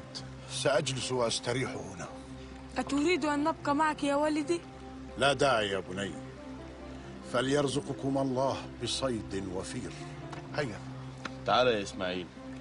بإذن الله سنجد صيدا وفيرا بقرب مجرى مياه النبع هيا تعال.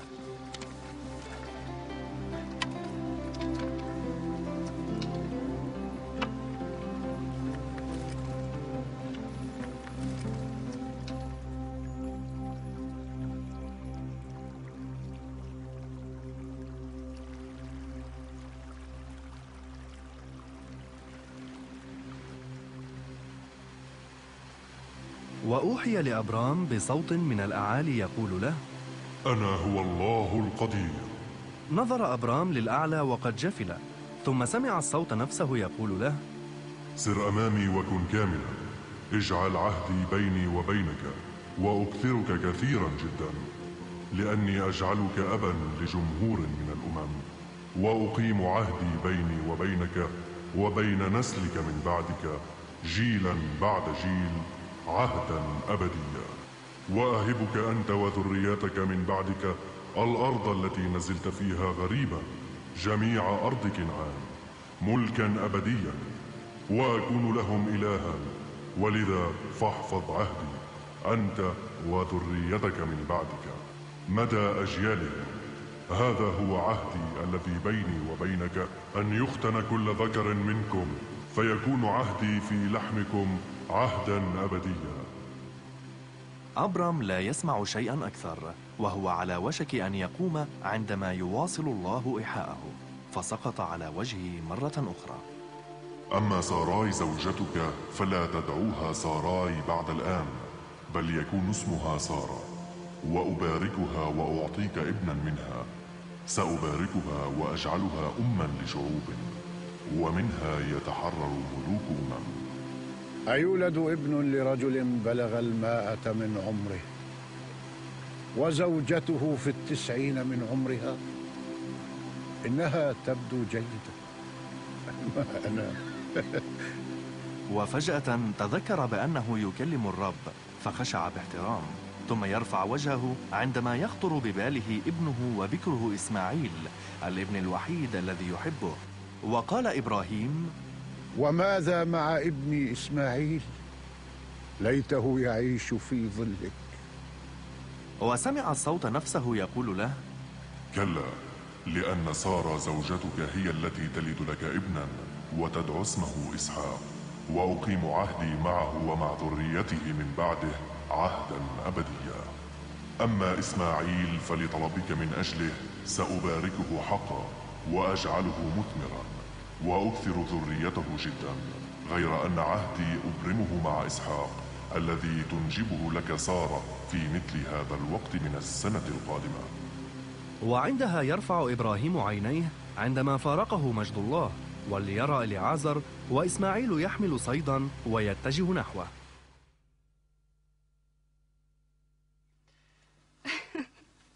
يمكنني أن أثير معك مواضيع كثيرة. لكن الموضوع الذي يهمني حقا هو الوعد بإسحاق هذا في آخر العمر. إسحاق. إسحاق. يبدو أن الله أحسن اختيار اسمه. نعم. كلنا نضحك من ذلك أبراهيم سارة من اليوم اسمي إبراهيم. الرب يناديني إبراهيم ويدعوك سارة. أنا إبراهيم وأنت سارة. ولا تنسي ذلك أبدا. إبراهيم إبراهيم انظر إلي جيدا. لقد يبست جسمي مجهد سارة أنت وحدك كنت مصدر دفئي عندما خبت نار الحياة. هل يمكن أن يحدث شيئا كهذا؟ اعتقدت أن هذا الخبر لابد أن يفرحك. إبراهيم لقد ذبلت. إني يابسة. إذا الله هو الذي يتكلم فهو إذا المسؤول عن كلامه لا نحن. وماذا عن إسماعيل؟ أو ولد خطأ؟ أي طفل يولد لا يكون خطأ؟ إنه ابني وأنت تبنيته. لكن ماذا لو استطاع الله أن يفعل ما يقول؟ ويجعل رحمي خصبة. فمن يكون إسماعيل عندئذ ولدي وسيباركه الرب كما قال. أنا مستعدة أن أقدم أي شيء حتى يكون عندي ولد. تأكدي أن ذلك سيحدث ويكون عندنا ولد. لو أن الرب في ذلك الوقت قال لك بأننا سنرزق بإسحاق لربما كان يجب أن لا أدفعك لتنام مع هاجر ليأتي إسماعيل. لا تقولي لا تقولي ذلك أبدا. الرب باركني مع إسحاق كما باركني مع إسماعيل. وعندها يكون عندي ابنان وسأحبهما من كل قلبي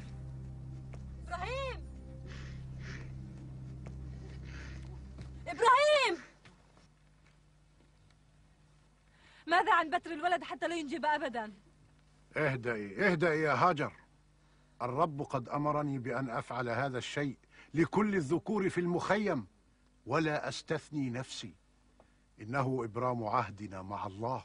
ولكنه قال لك يطهر كل ولد عمره ثمانية أيام وليس أربعة عشر عاما. هذا صحيح. ولكننا اليوم نوقع العهد لبداية سنين العهد. ومتى ستتم هذه العملية القاسية؟ اليعازر يشحذ السكاكين. رجاء لا تفعل شيئا كهذا لإسماعيل. لا تخافي على إسماعيل. يجب أن يبرم العهد.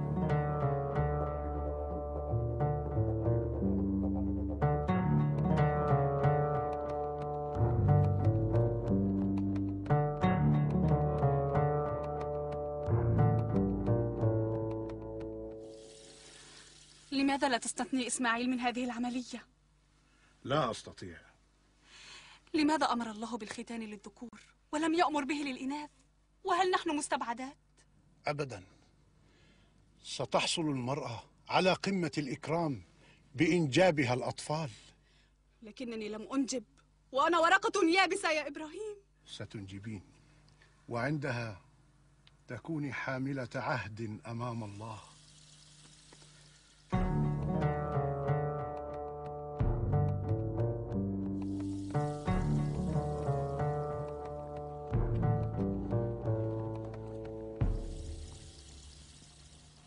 كل شيء جاهز والرجال مستعدون. من منكم يريد أن يكون أول من يبرم عهده مع الله؟ حسنا.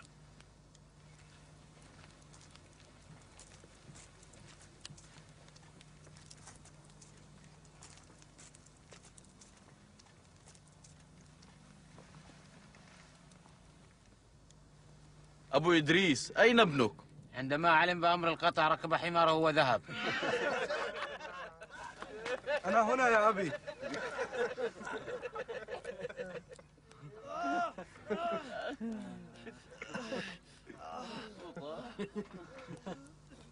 حسنا.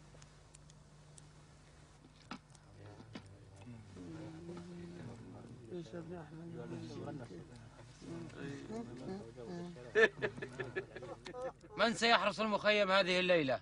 جميعنا ومن يستطيع النوم بعد هذا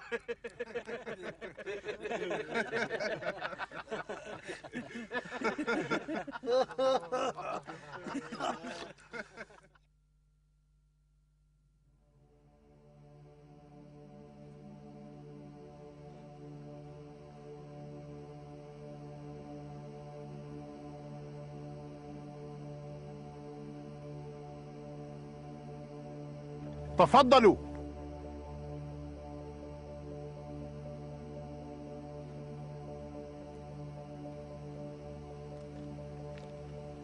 سلام عليكم. يا سيدي إن كنت قد حظيت برضاك فلا تتجاوز عبدك. قبل أن أكرمكم بشيء بعض ماء تغسلون به أرجلكم وتستريحون قليلا. ولقمة خبز تسندون بها قلوبكم. وبعد ذلك تواصلون مسيرتكم. حسنا ليكن كما قلت. تفضلوا. تفضلوا.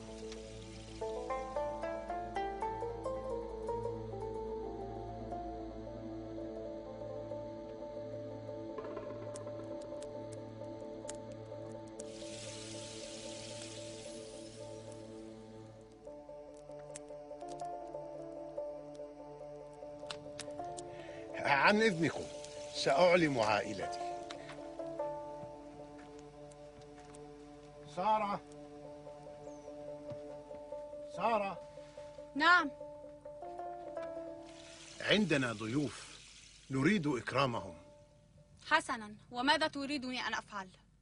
أعدي ثلاثة أوزان من الطحين واخبزيها وأنا سأختار الذبيحة المناسبة لهم. حسنا هيا.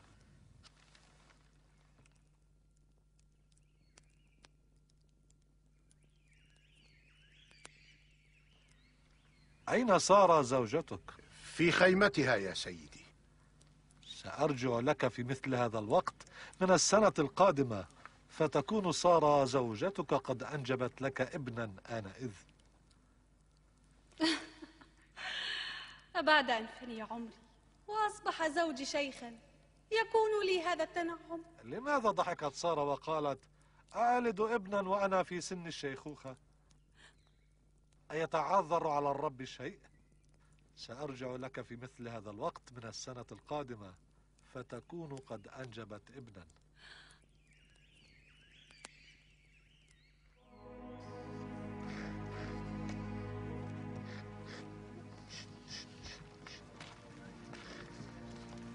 اذهبوا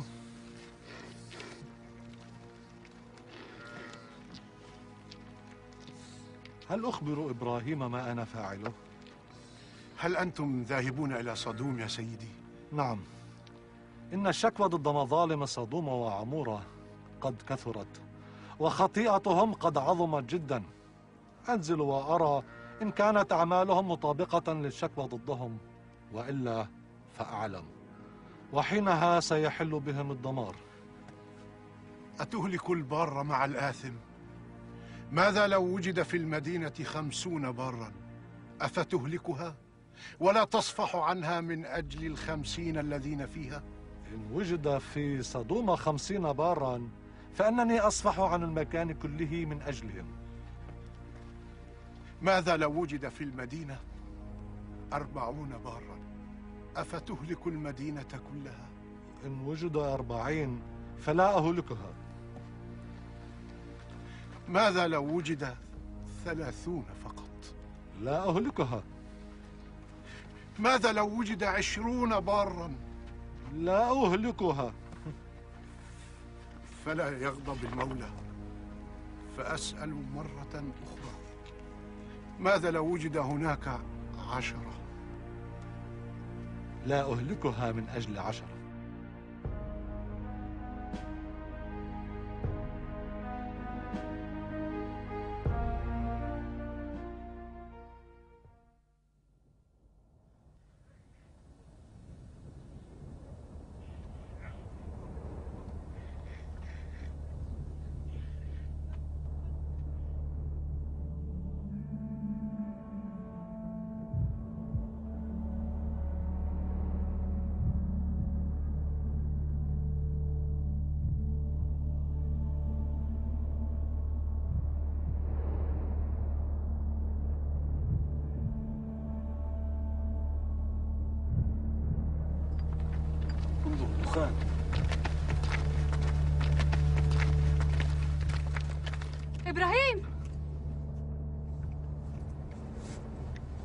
لقد احترقت صدوم.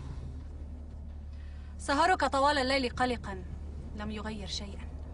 هل لوط بينهم؟ أعتقد أن المدينة أبيدت عن بكرة أبيها. لا أدري. لا أدري وكفى. لولا فساد أهلها لما أحرقت. لم أحب المدن ولا أحبها الآن أكثر. أبي إننا كمدينة صغيرة مدينة خيام. أظن أننا كذلك يا إسماعيل. لو عشنا نحن في سدوم ما كانت لتهلك لأن في بيتنا أكثر من عشرة برر من أجلهم. ربما كان علي أن آخذ الوادي وأترك لوط بالجبال. إذا لبقي حيا هو وزوجته وابنته هذه كانت إرادة لوط. لو سكننا هناك بضعة أشهر. لتناقص البررة بيننا إلى أقل من عشرة لما سمعته عن تلك المدينة. الرب وحده يحكم على قلب الإنسان. فلنحرص لئلا نجد أنفسنا بنكبة مشابهة. وقوفنا هنا لن يغير شيئا. فلنذهب لغسل الملابس عند البئر وجلب الماء من هناك. هيا بنا.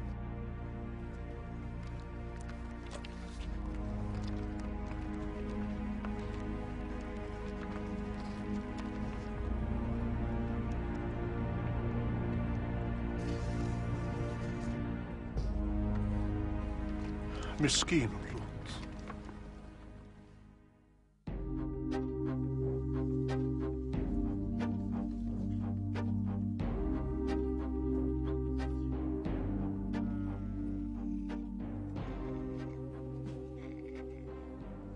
سيدي إبراهيم سيدي إبراهيم. العازر ماذا بك؟ لوط حي يا سيدي. لوط حي؟ أين هو؟ الله قد أنقذ حياته. كنت أعلم أن الله رحيم وعادل. لوط كان رجلا صالحا. استثنى الرب الرجل الصالح. أين هو؟ يجب أن نحتفل به. لا يستطيع الحضور يا سيدي. نذهب إليه ونحضره إلى هنا. أين هو؟ تكلم. لربما هو سيحضر بنفسه. لربما. اليعازر ماذا حدث؟ لماذا لا يستطيع أن يحضر إلى هنا؟ إذا حضر سيحضر في الوقت الذي يراه مناسبا. إنه يشعر بالخزي. هو سيد أمره. سيزور عندما يستطيع. تعلم يا سيدي في بعض الأحيان من المستحسن أن يحتفظ الخادم ببعض الأسرار. بالإضافة إلى أنك رجل حكيم يا إليعازر. فأنت حافظ للسر.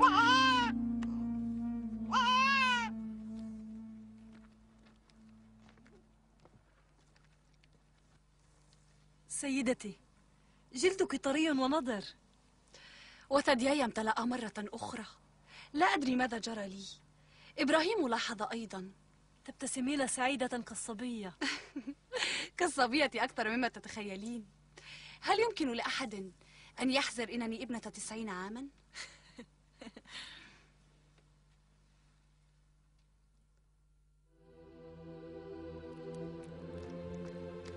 سيدي ماذا هناك؟ إنك أب مرة أخرى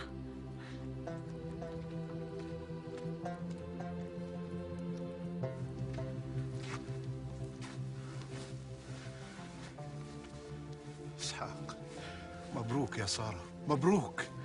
ابني. إسحاق. لقد أضحكني الرب. وكل من يسمع هذا الأمر سيضحك معي. من كان سيصدق؟ أن سارة سترضع ابنا. وها أنا قد أنجبت لإبراهيم ابنا في شيخوخته.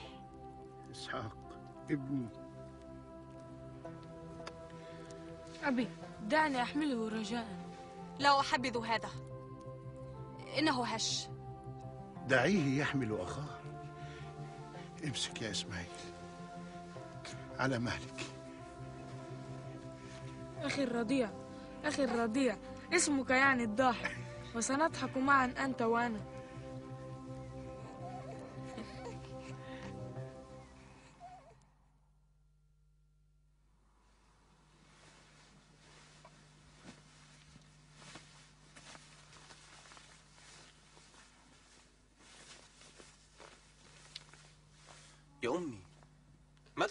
ستصلحين لي ثوب الصيد؟ خذه إلى تمار. ستصلحه لك بكل سرور. يا أمي هذا الثوب الذي أنت صنعتيه لي بيديك. وكنت أفتخر به أمام الناس. أصلحيه لي أرجوك. ليس عندي وقت لك. أمي أريد كعكة التمر.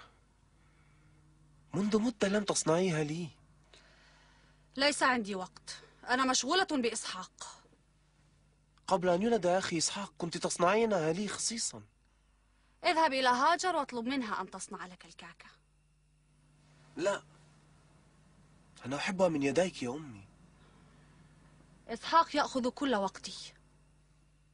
ألا تجدين ساعة لابنك إسماعيل؟ أما لابنك إسحاق تعطيه كل وقتك. ليل نهار. يجب أن تنتقل للعيش مع أبيك في خيمته.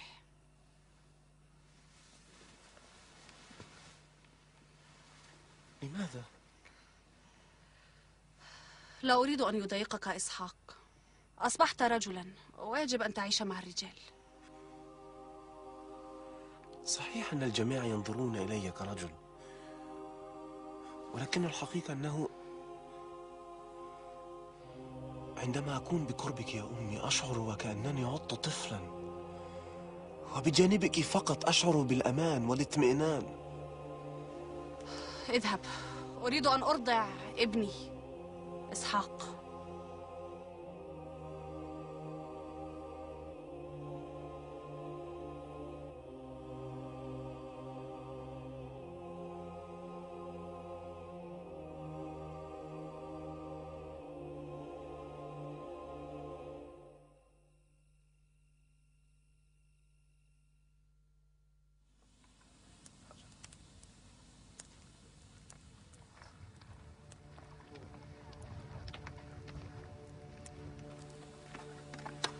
أنا ذاهب للصيد يا أبي. لماذا لا تأخذ إليعازر معك ليساعدك؟ بركتك هي أكبر مساعدة. باركني يا والدي. اذهب يا بني فليكن الرب معك وليحميك من العثرات وينصرك على كل أعدائك. اليوم ستأكلون لحم غزال. بإذن الله. عن إذنك يا سيدي سأركب حماري وأذهب معه. حسنا تفعل. أرجو أن تعود بغزال وليس بعنزة من عنزاتنا كما فعلت بالمرة الماضية. لا تقلق يا سيدي الرعيان على سفح الجبل ونحن سنذهب لنصطاد بالوادي قرب الماء. فليكن الله معكم.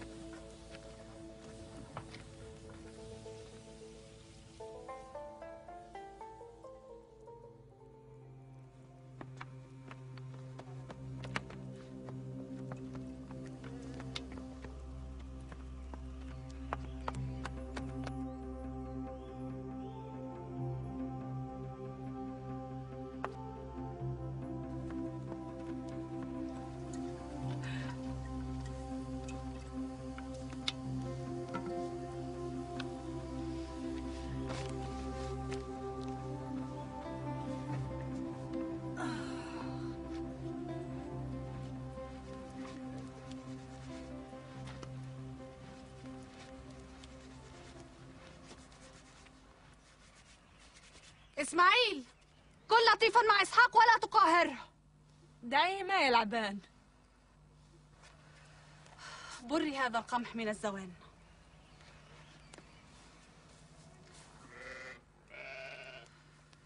ابني يكبر بسرعة. أيهما؟ ابني إسحاق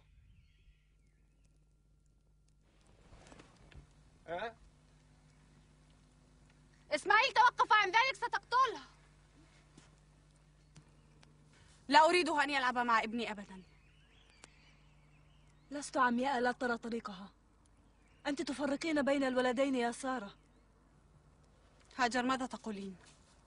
أنا أرى كيف تعاملين إسحاق وكيف أصبحت تعاملين إسماعيل. ولكن إسماعيل شجاع وشهم ويتصرف كالأمير فلا يرد على الإساءة التي يتلقاها منك. حقا إنك تصنعين شيئا من لا شيء. أليس شيئا أنه طوال ثلاثة عشر؟ لا أربعة عشر عاما. تربى إسماعيل في خيمتك وهو يعتقد أنه ابنك ابنك الوحيد. فكيف يجد نفسه مبعدا عنك؟ لكن له أم وهي أنت. لماذا لا تكونين له أما أكثر من أي شيء آخر؟ أتمنى لو كنت كذلك طوال تلك السنوات.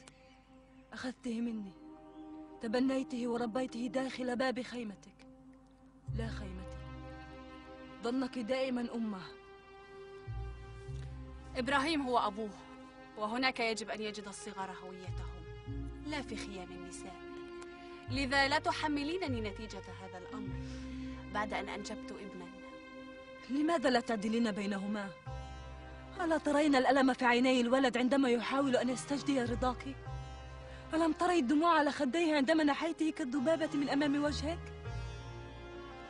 هاجر لا شيء يبقى على حاله لا شيء أبدا عندي ابن أعتني به الآن وهو يستغرق كل وقتي ألا تعلمين بأن الفطام عن الحب أصعب من الفطام عن حليب الثدي؟ ألا تعلمين بأنك بهذا تقضين على إسماعيل؟ أنت قاسية وليس في قلبك رحمة أو شفقة كيف تجرؤين على الكلام معي هكذا؟ أنا التي أصرت على تزويجك من إبراهيم. لأسباب أنانية فقط. أخرجي من المخيم. طبعا. إذا رميت بإسماعيل الذي كنت تعبدينه فما أسهل أن ترميني أنا أيضا؟ سهل علي. لم يأتي لي شيئا بسهولة أبدا. أنت امرأة أنانية. بعد كل الذي فعلته من أجلك ومن أجل ابنك تقولين عني هذا الكلام؟ أنا سوداويك يا نكرة الجميل.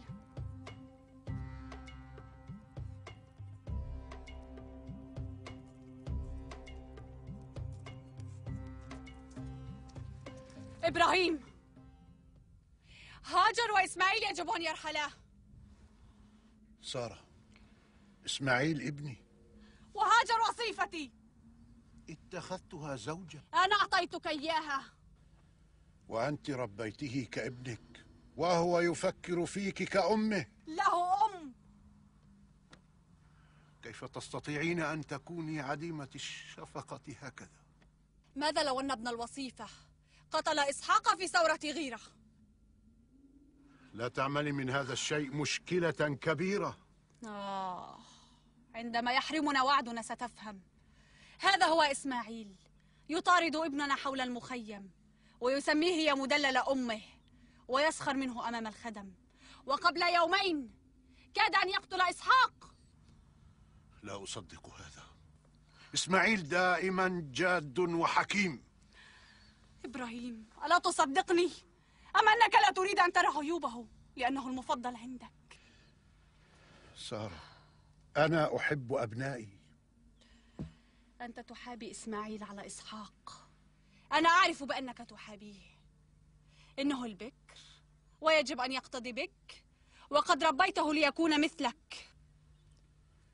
عمره تسعة عشر عاما وله شخصية مستقلة.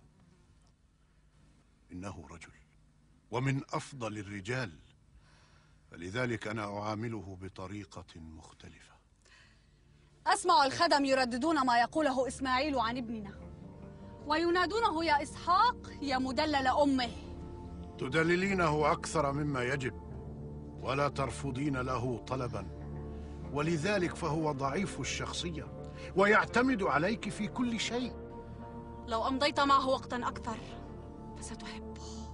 يجب أن يتخشن كباقي أطفال المخيم. لم يبلغ الخامسة من إنه طيب القلب ورقيق. وهو كالعجين بين يديك. يمكنك أن تشكله كما تشاء. علمه كما علمت إسماعيل. سأعلمه عندما يحين الوقت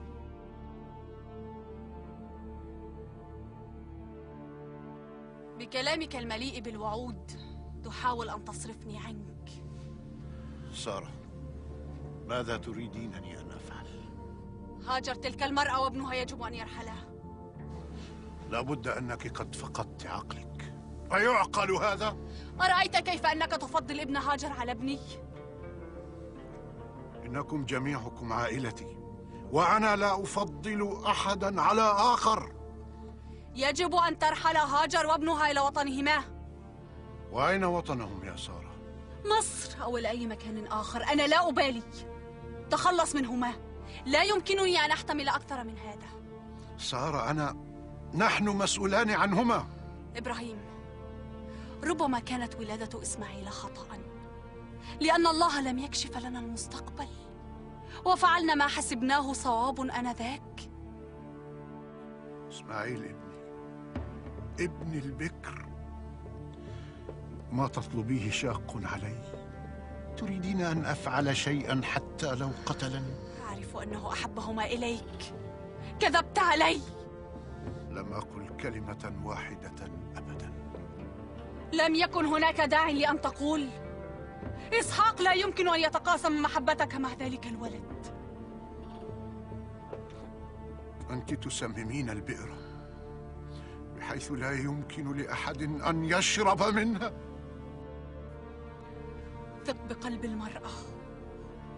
أنا أعرف ما هو الأحسن لإسحاق. يجب أن تبعد تلك المرأة وابنها معها. تكلمت بكل ما عندي. أنا ذاهبة.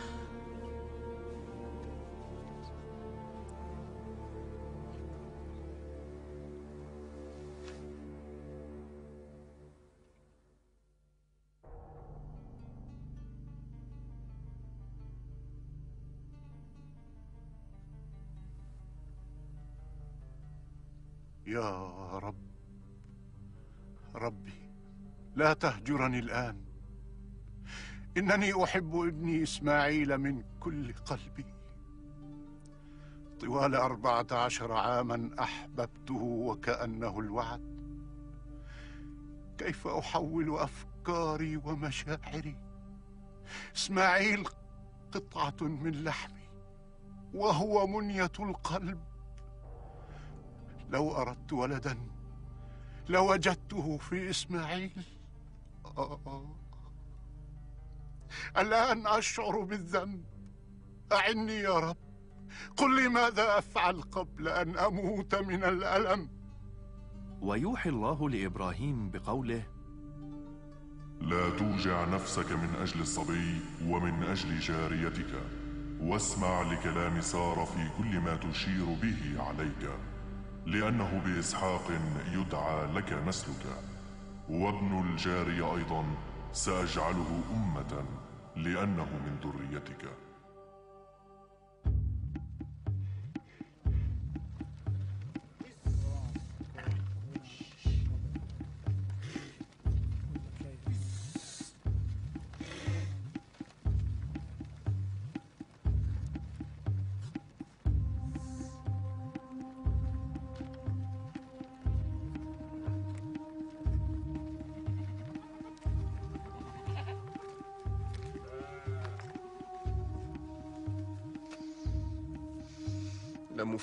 أبدا بأننا سنصل لهذه اللحظة القاسية. ولا أنا يا بني. هذا يؤلم كثيرا. إسماعيل. ولدي أحبك من كل قلبي. إنه ينفطر عليك اعتني بنفسك وبأمك واسمع لما تقول. لا تقلق يا أبي. سأرى أمي وأضعها في بؤبؤ عيني. إسماعيل ولد طيب. أعلم ذلك. وأنت من سيرعاك يا والدي؟ وضعت نفسي بين يدي ربي. أنا رجل ممزق. ارحل. ارحل قبل أن أفعل شيئا أندم عليه. أريد أن أودع سارة. لا أحب ذلك. من غير المعقول أن أذهب من هنا من غير كلمة وداع. هي التي طردتنا من هنا. ربما هذه إرادة الرب. لقد عشت في خيمتها وفي أحضانها أربعة عشر عاما وأذهب من غير نظرة وداع. اتركيه. يذهب ليودع سارة. إنه ولد حكيم.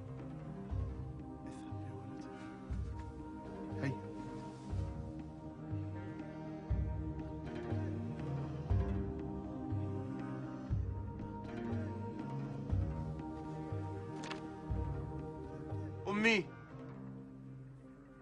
سارة.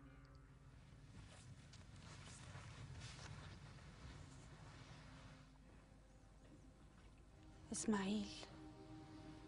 نحن ذاهبون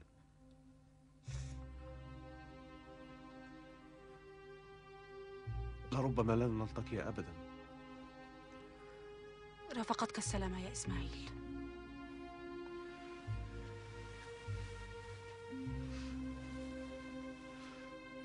إلى اللقاء يا أخي. كن ولدا طيبا لأمك وأبيك. فليرعاك الله.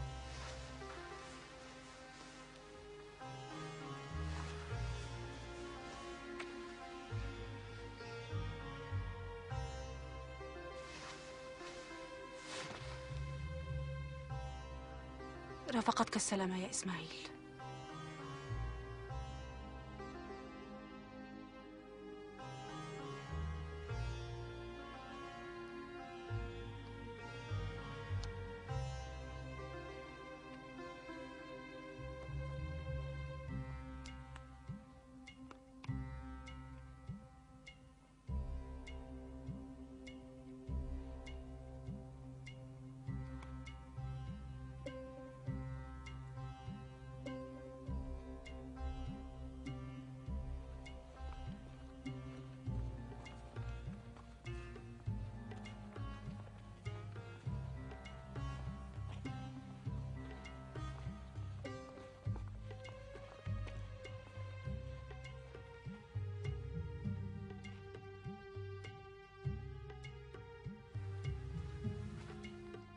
هون عليك يا ولدي؟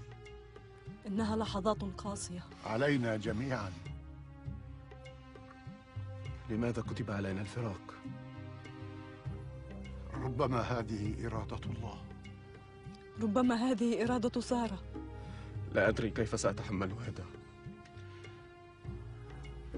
أنت رجل شجاع.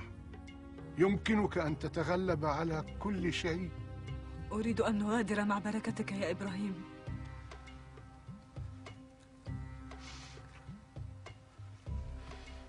فليبارككم الله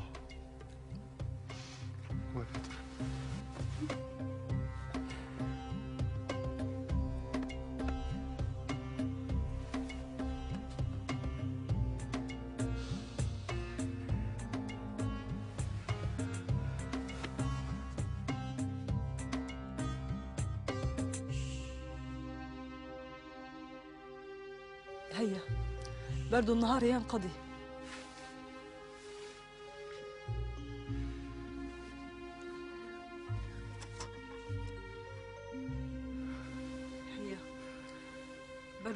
ينقضي لحظة.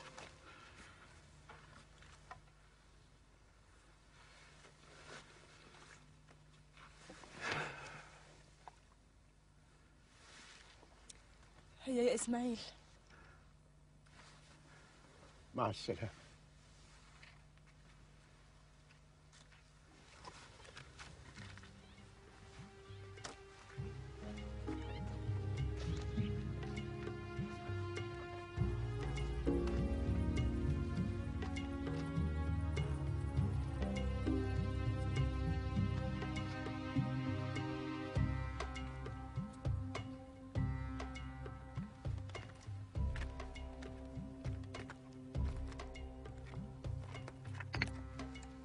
لا تنظر للوراء يا ولدي. انظر للأمام. النظر للوراء يضعفك فقط.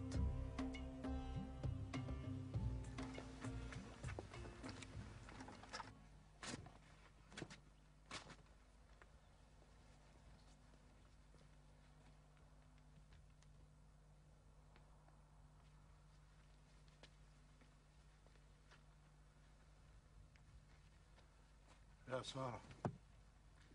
ما فعلته اليوم لا يمكن قياسه. إن كنت لا تستطيع قياسه فأعطني إياه وأنا أقيسه بصورة صحيحة.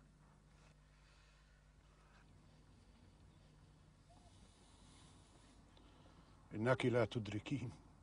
كان ابني.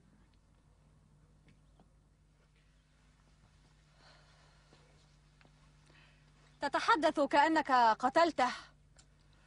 ليس من أجلك ولا من أجل إسحاق أبعدت الولد يا سارة. لا أريد أن أسمع هذا. لا. يجب أن تسمعي. أبعدت الولد لأن الله قد أمرني بذلك. الله وحده. لقد تمزق قلبي. أتمنى لو لم يكن قد ولد ليسبب كل هذه المشاكل.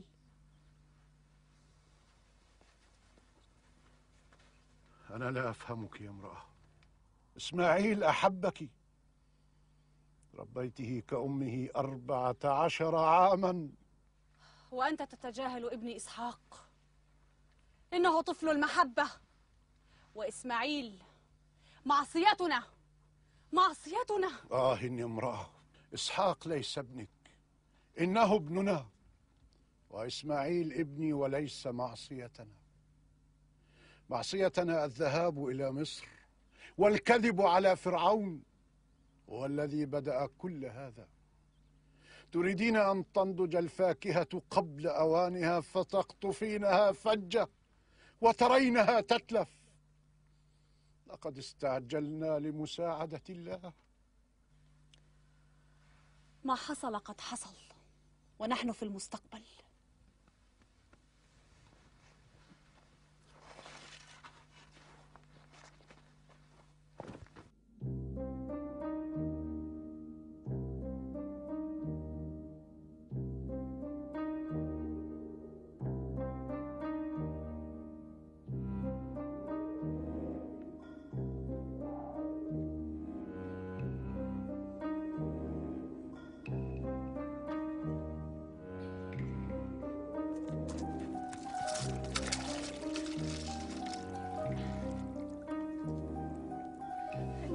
الماء يا إسماعيل لتشربه هذه الأرض العاطشة كيف يمكننا أن نواصل رحلتنا من غير ماء؟ من قال لك أنني أريد أن أواصل السير؟ لم يبق شيء مهم لأحيا من أجله ألا تريد أن تحيا من أجل أمك؟ أمي سارة هاجر سارة. انهض يا بني. سارة. انهض. اذهبي. اذهبي واتركيني لأموت هنا. إسماعيل انهض.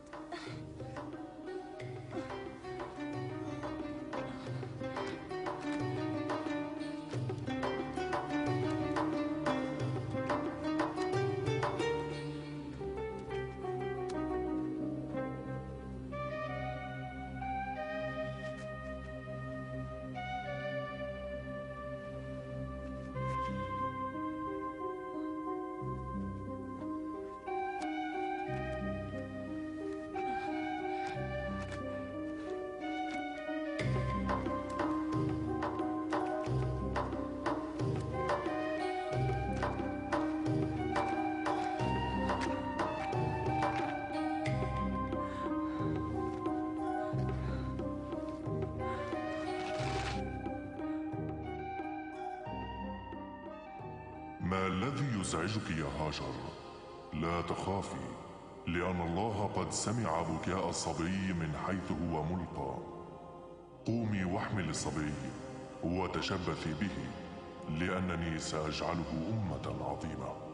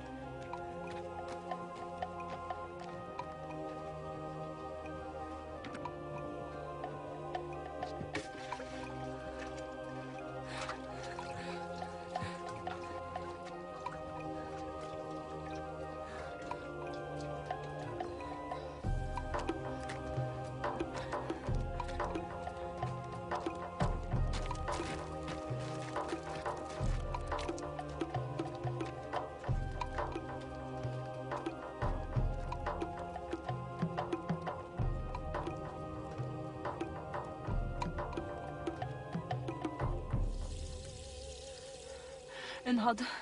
انهض يا إسماعيل. انهض. انهض يا بني.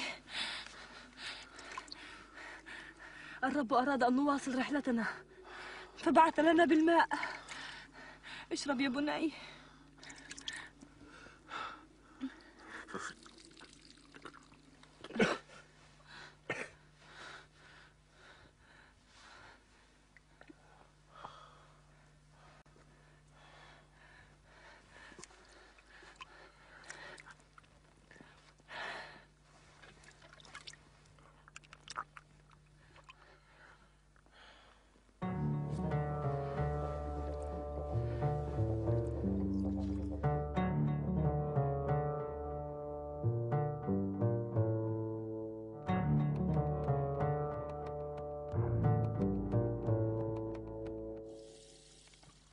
أبي أبي.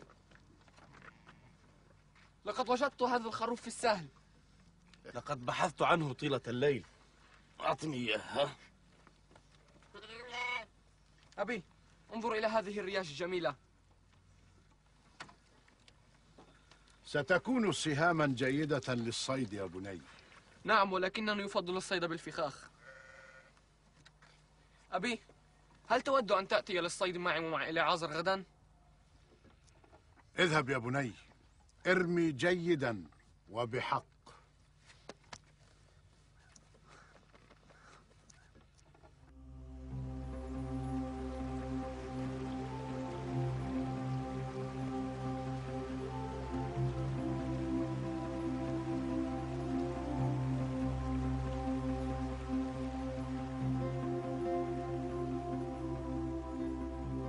لماذا أبي لا يريد المجيء معنا؟ عنده مسؤوليات كثيرة. أنا أذكر أنه كان يذهب مع إسماعيل للصيد. نعم كان يفعل. هل لأنني لا أجيد استعمال القوس لا يأتي معي؟ ولكنك أمهر من ينصب الفخاخ للصيد. ومع هذا لا يرافقني للصيد كما كان يفعل مع إسماعيل. اسمع يا إسحاق. في حياة الرجال توجد أشياء كثيرة غير مفهومة تماما. إنه يفتقد إسماعيل لأنه كان سندا له وكان يخافه الرجال. ولكنك عونا له في طرق أخرى وهو فخور بك. إنك تعامل الناس بالعدل وأنت رقيق وعزاء لأمك. أبي يحب إسماعيل أليس كذلك؟ بالطبع وهو يحبك أيضا. ولكنه يحبه أكثر. كلا ليس أكثر. الناس يحبون بعضهم البعض بأشكال مختلفة ولا يمكنك أن تقارن بينها. أنا لم أفكر بذلك هكذا. يجب أن لا تجرب أن تكون إسماعيل. كن إسحاق فأبوك يحب إسحاق.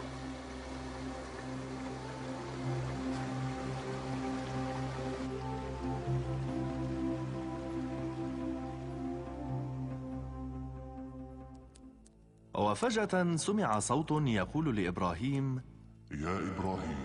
ويجيبه إبراهيم قائلا لبيك يا رب.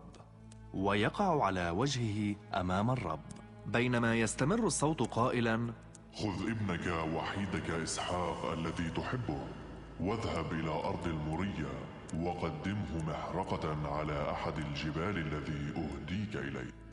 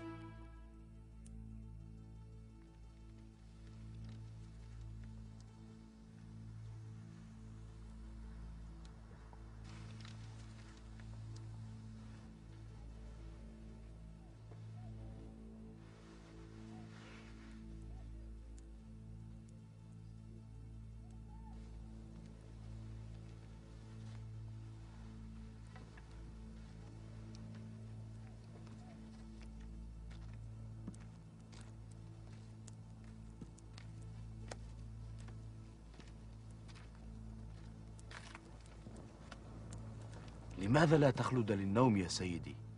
فأنا الليلة أحرس المخيم. يا ليتني كنت أستطيع. لقد هجرني النعاس وذهب بعيدا جدا. لماذا يا سيدي؟ عندما يثقل الوزن على الحبل إما أن يبقى مشدودا أو يقطع. أنت أقوى من أن تقطع يا سيدي. سأذهب لأكمل جولتي حول المخيم وأعود لنكمل حديثنا هذا إذا لم يعد إليك النوم الذي هجرك. اذهب يا لعازر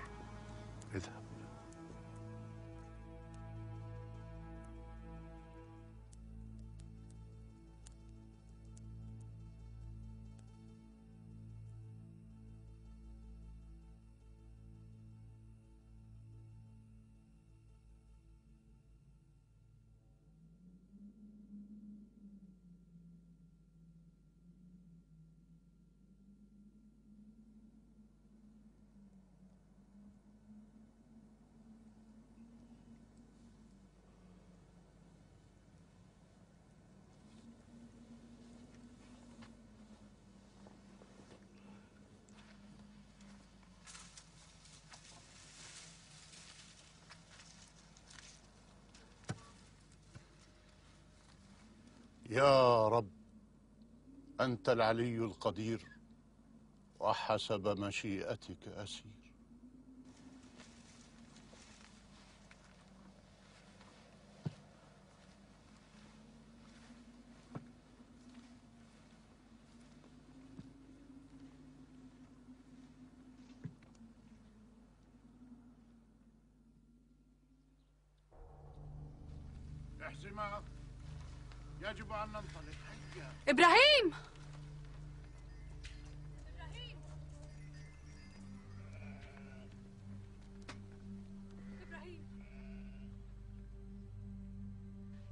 ذاهب فجأة بدون حتى كلمة؟ إلى الجبال لأي غرض؟ يبدو أنها أضحية على الأرجح أنا أعرف الناس بك إلى أين أنتم ذاهبون يا إسحاق؟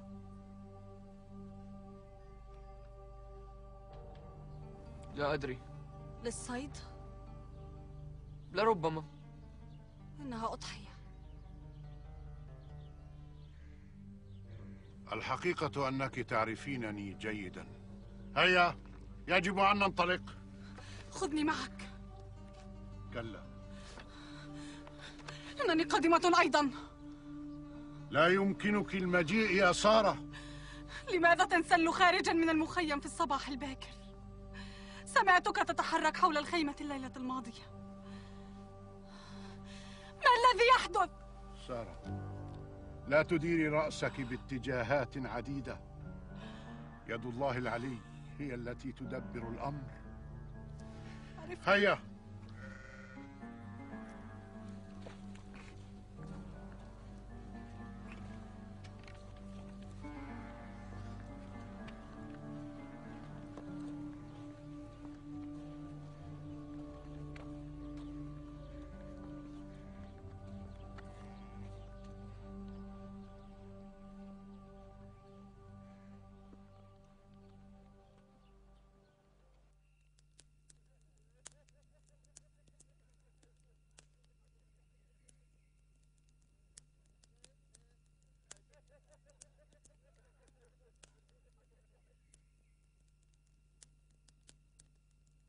أبي. نعم يا بني. هل سمعت شيئا من أخي إسماعيل مؤخرا؟ نعم. بعث يقول بأن امرأته حامل. بطفل آخر؟ نعم. أبي عندما أكبر هل ستبعث إلى مصر تطلب زوجة لي؟ مثل ما طلبت هاجر لإسماعيل؟ لن تتزوج مصرية. إنهم ليسوا عشيرتنا. هاجر جلبت لإسماعيل زوجة من مصر من بلاط فرعون ربما ذات دم ملكي. إذا أين عشيرتنا؟ في حران. هناك يوجد أخي ناحور عمك وعائلته. هل ستحضر لي عروسا من هناك؟ لا داعي للحديث عن ذلك الآن. عندما يحين الوقت سأتصرف. فلننجز أولا ما أتينا لأجله. حسن يا أبي كما تشاء. أين أخذ إبراهيم ابننا إسحاق؟ القلق يكاد يقتلني؟ لا لن أدع للقلق أن يتغلب علي. سارة إهدئي إهدئي لن يحدث مكروه لإسحاق.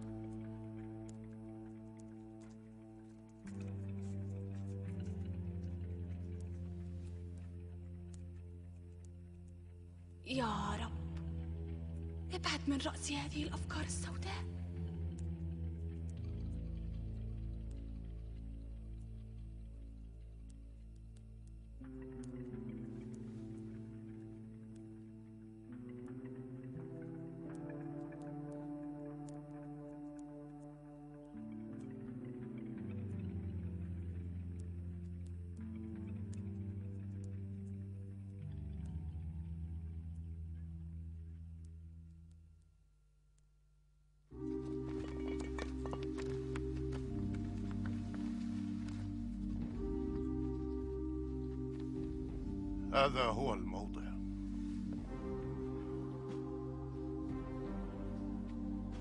امكثوا هنا مع البهائم. سأحضر معكما يا سيدي. كلا سأذهب أنا والصبي إلى الجبل نتعبد ثم نرجع إليه. تعال يا بني احمل هذه الحزمة من الحطب.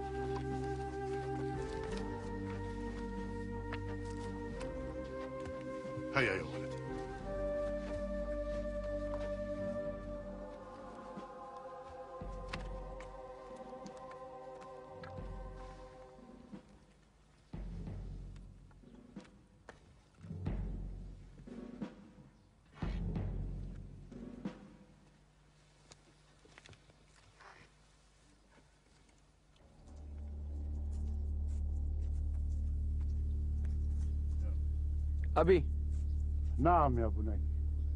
إن كنا سنضحي فلدينا الحطب والنار. ولكن أين خروف المحرقة؟ يا بني الله سيدبر لنفسه المحرقة هيا يا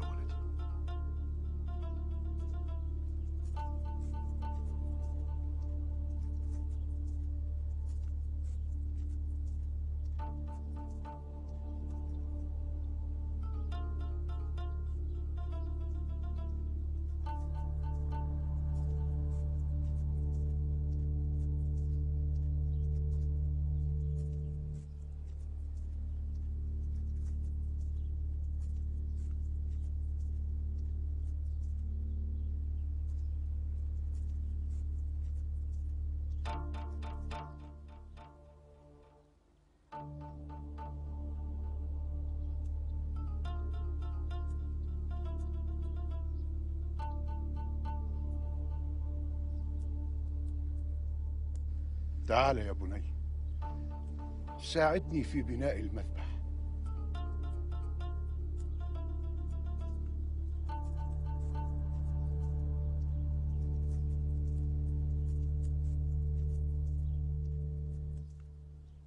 لم يأخذ خروفا. وإبراهيم وإسحاق يحملان الحطب بدلا من أن يحمله أحدنا. ألم ترى كيف انزعجت سارة جدا لتسلل إبراهيم خلسة لعمل هذا؟ لقد عرفت إنها ليست رحلة صيد. من المؤكد أنه لن يضحي بابنه.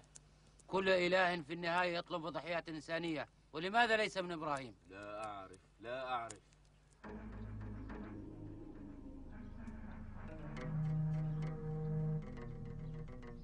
إسحاق.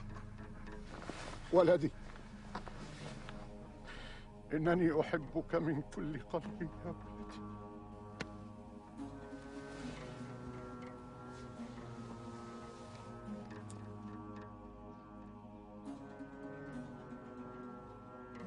وأنا أحبك أيضا يا أبي. افعل بما أمرت به. أنا لست خائفا.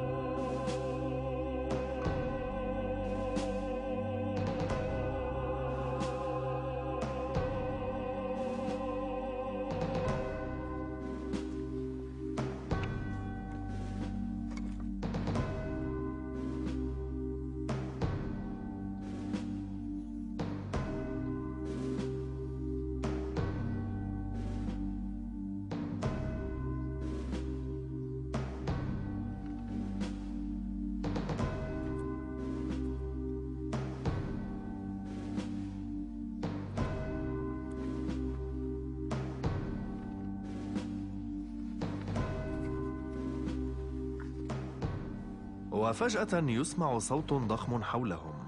إبراهيم إبراهيم لا تمد يدك إلى الصبي ولا توقع به ضرا لأني علمت أنك تخاف الله ولم تمنع ابنك وحيدك عني.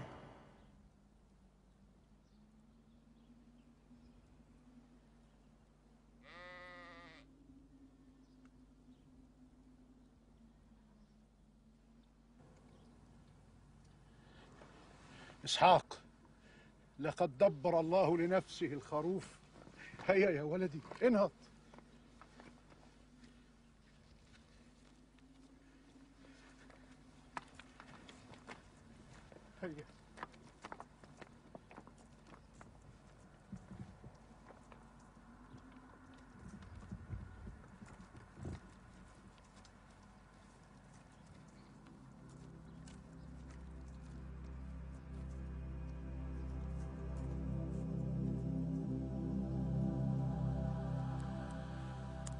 الكبش مات فداء لك يا بني. أبي سمعت صوت الرب يتكلم معك. سمعت الصوت وحييت. يجب أن نسمي هذا المكان الرب المدبر. وعندما يسمع إبراهيم صوت الرب قائلا ها أنا أقسم بذاتي لأنك صنعت هذا الأمر ولم تمنع ابنك وحيدك عني. لأباركنك وأكثرن ذريتك فتكون كنجوم السماء وكرمل شاطئ البحر وترث ذريتك مدن أعدائها وبذريتك تتبارك جميع أمم الأرض لأنك أطعتني. الآن سمعت صوت الرب يا أبي. أنت ولد طيب. هناك أصوات كثيرة. احرص على أن يكون ما تسمعه وتطيعه هو صوت الرب. هيا يا ولدي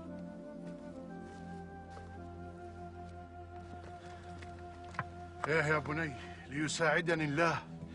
كي أتحمل ما سيحدث عندما تعلم أمك بالأمر. إنها لم تفارق ذهني كل الوقت. أمك عانت أكثر منا جميعا. أمي كانت تشك فيما نحن مقدمون عليه. أليس كذلك؟ لقد عرفت. عرفت لماذا أخذتك. آه يا أبي يجب أن نسرع إليها لنطمئنها. هيا يا ولدي هيا.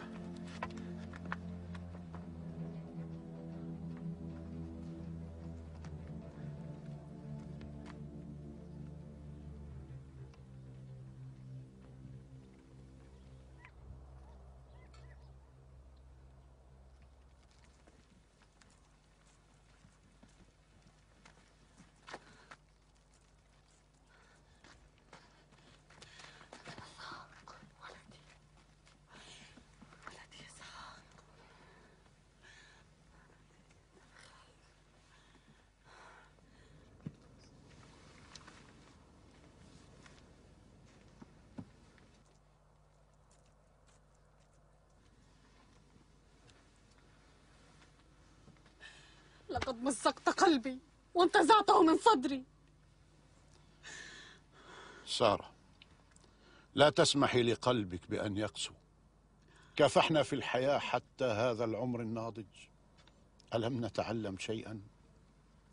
كيف كان يمكنني أن أبلغك بهذا الشيء الذي كان علي أن أفعله؟ إن كان رد فعلك الآن هكذا فكيف كان لردك أن يكون حينئذ؟ لماذا إسحاق وليس إسماعيل؟ إسماعيل قد ذهب. إسحاق ما يزال معنا. لا أريد أن أتحدث عن هذا مرة أخرى. يكفي أنك أذقتني هذا العذاب. اذهب. اترك لي ولدي. هذا يكفي. أتمنى أن يأتي الوقت وأن أسامحك. لا يمكنني أن أحتمل أكثر من هذا. اتركني. سارة لا يمكنني أن أتركك أبدا.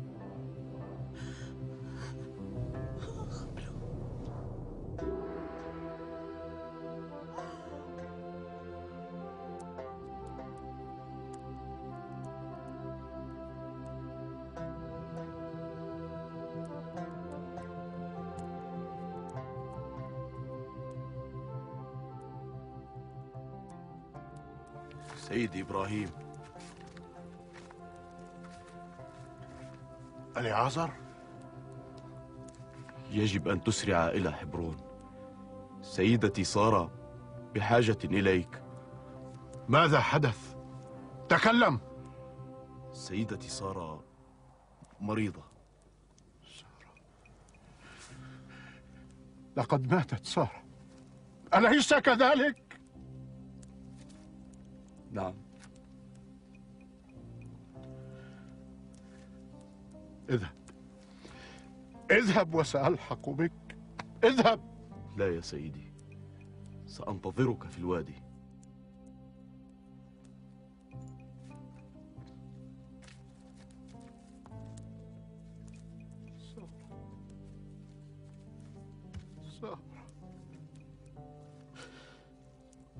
تبارك اسمك يا رب. الرب أعطى والرب أخذ.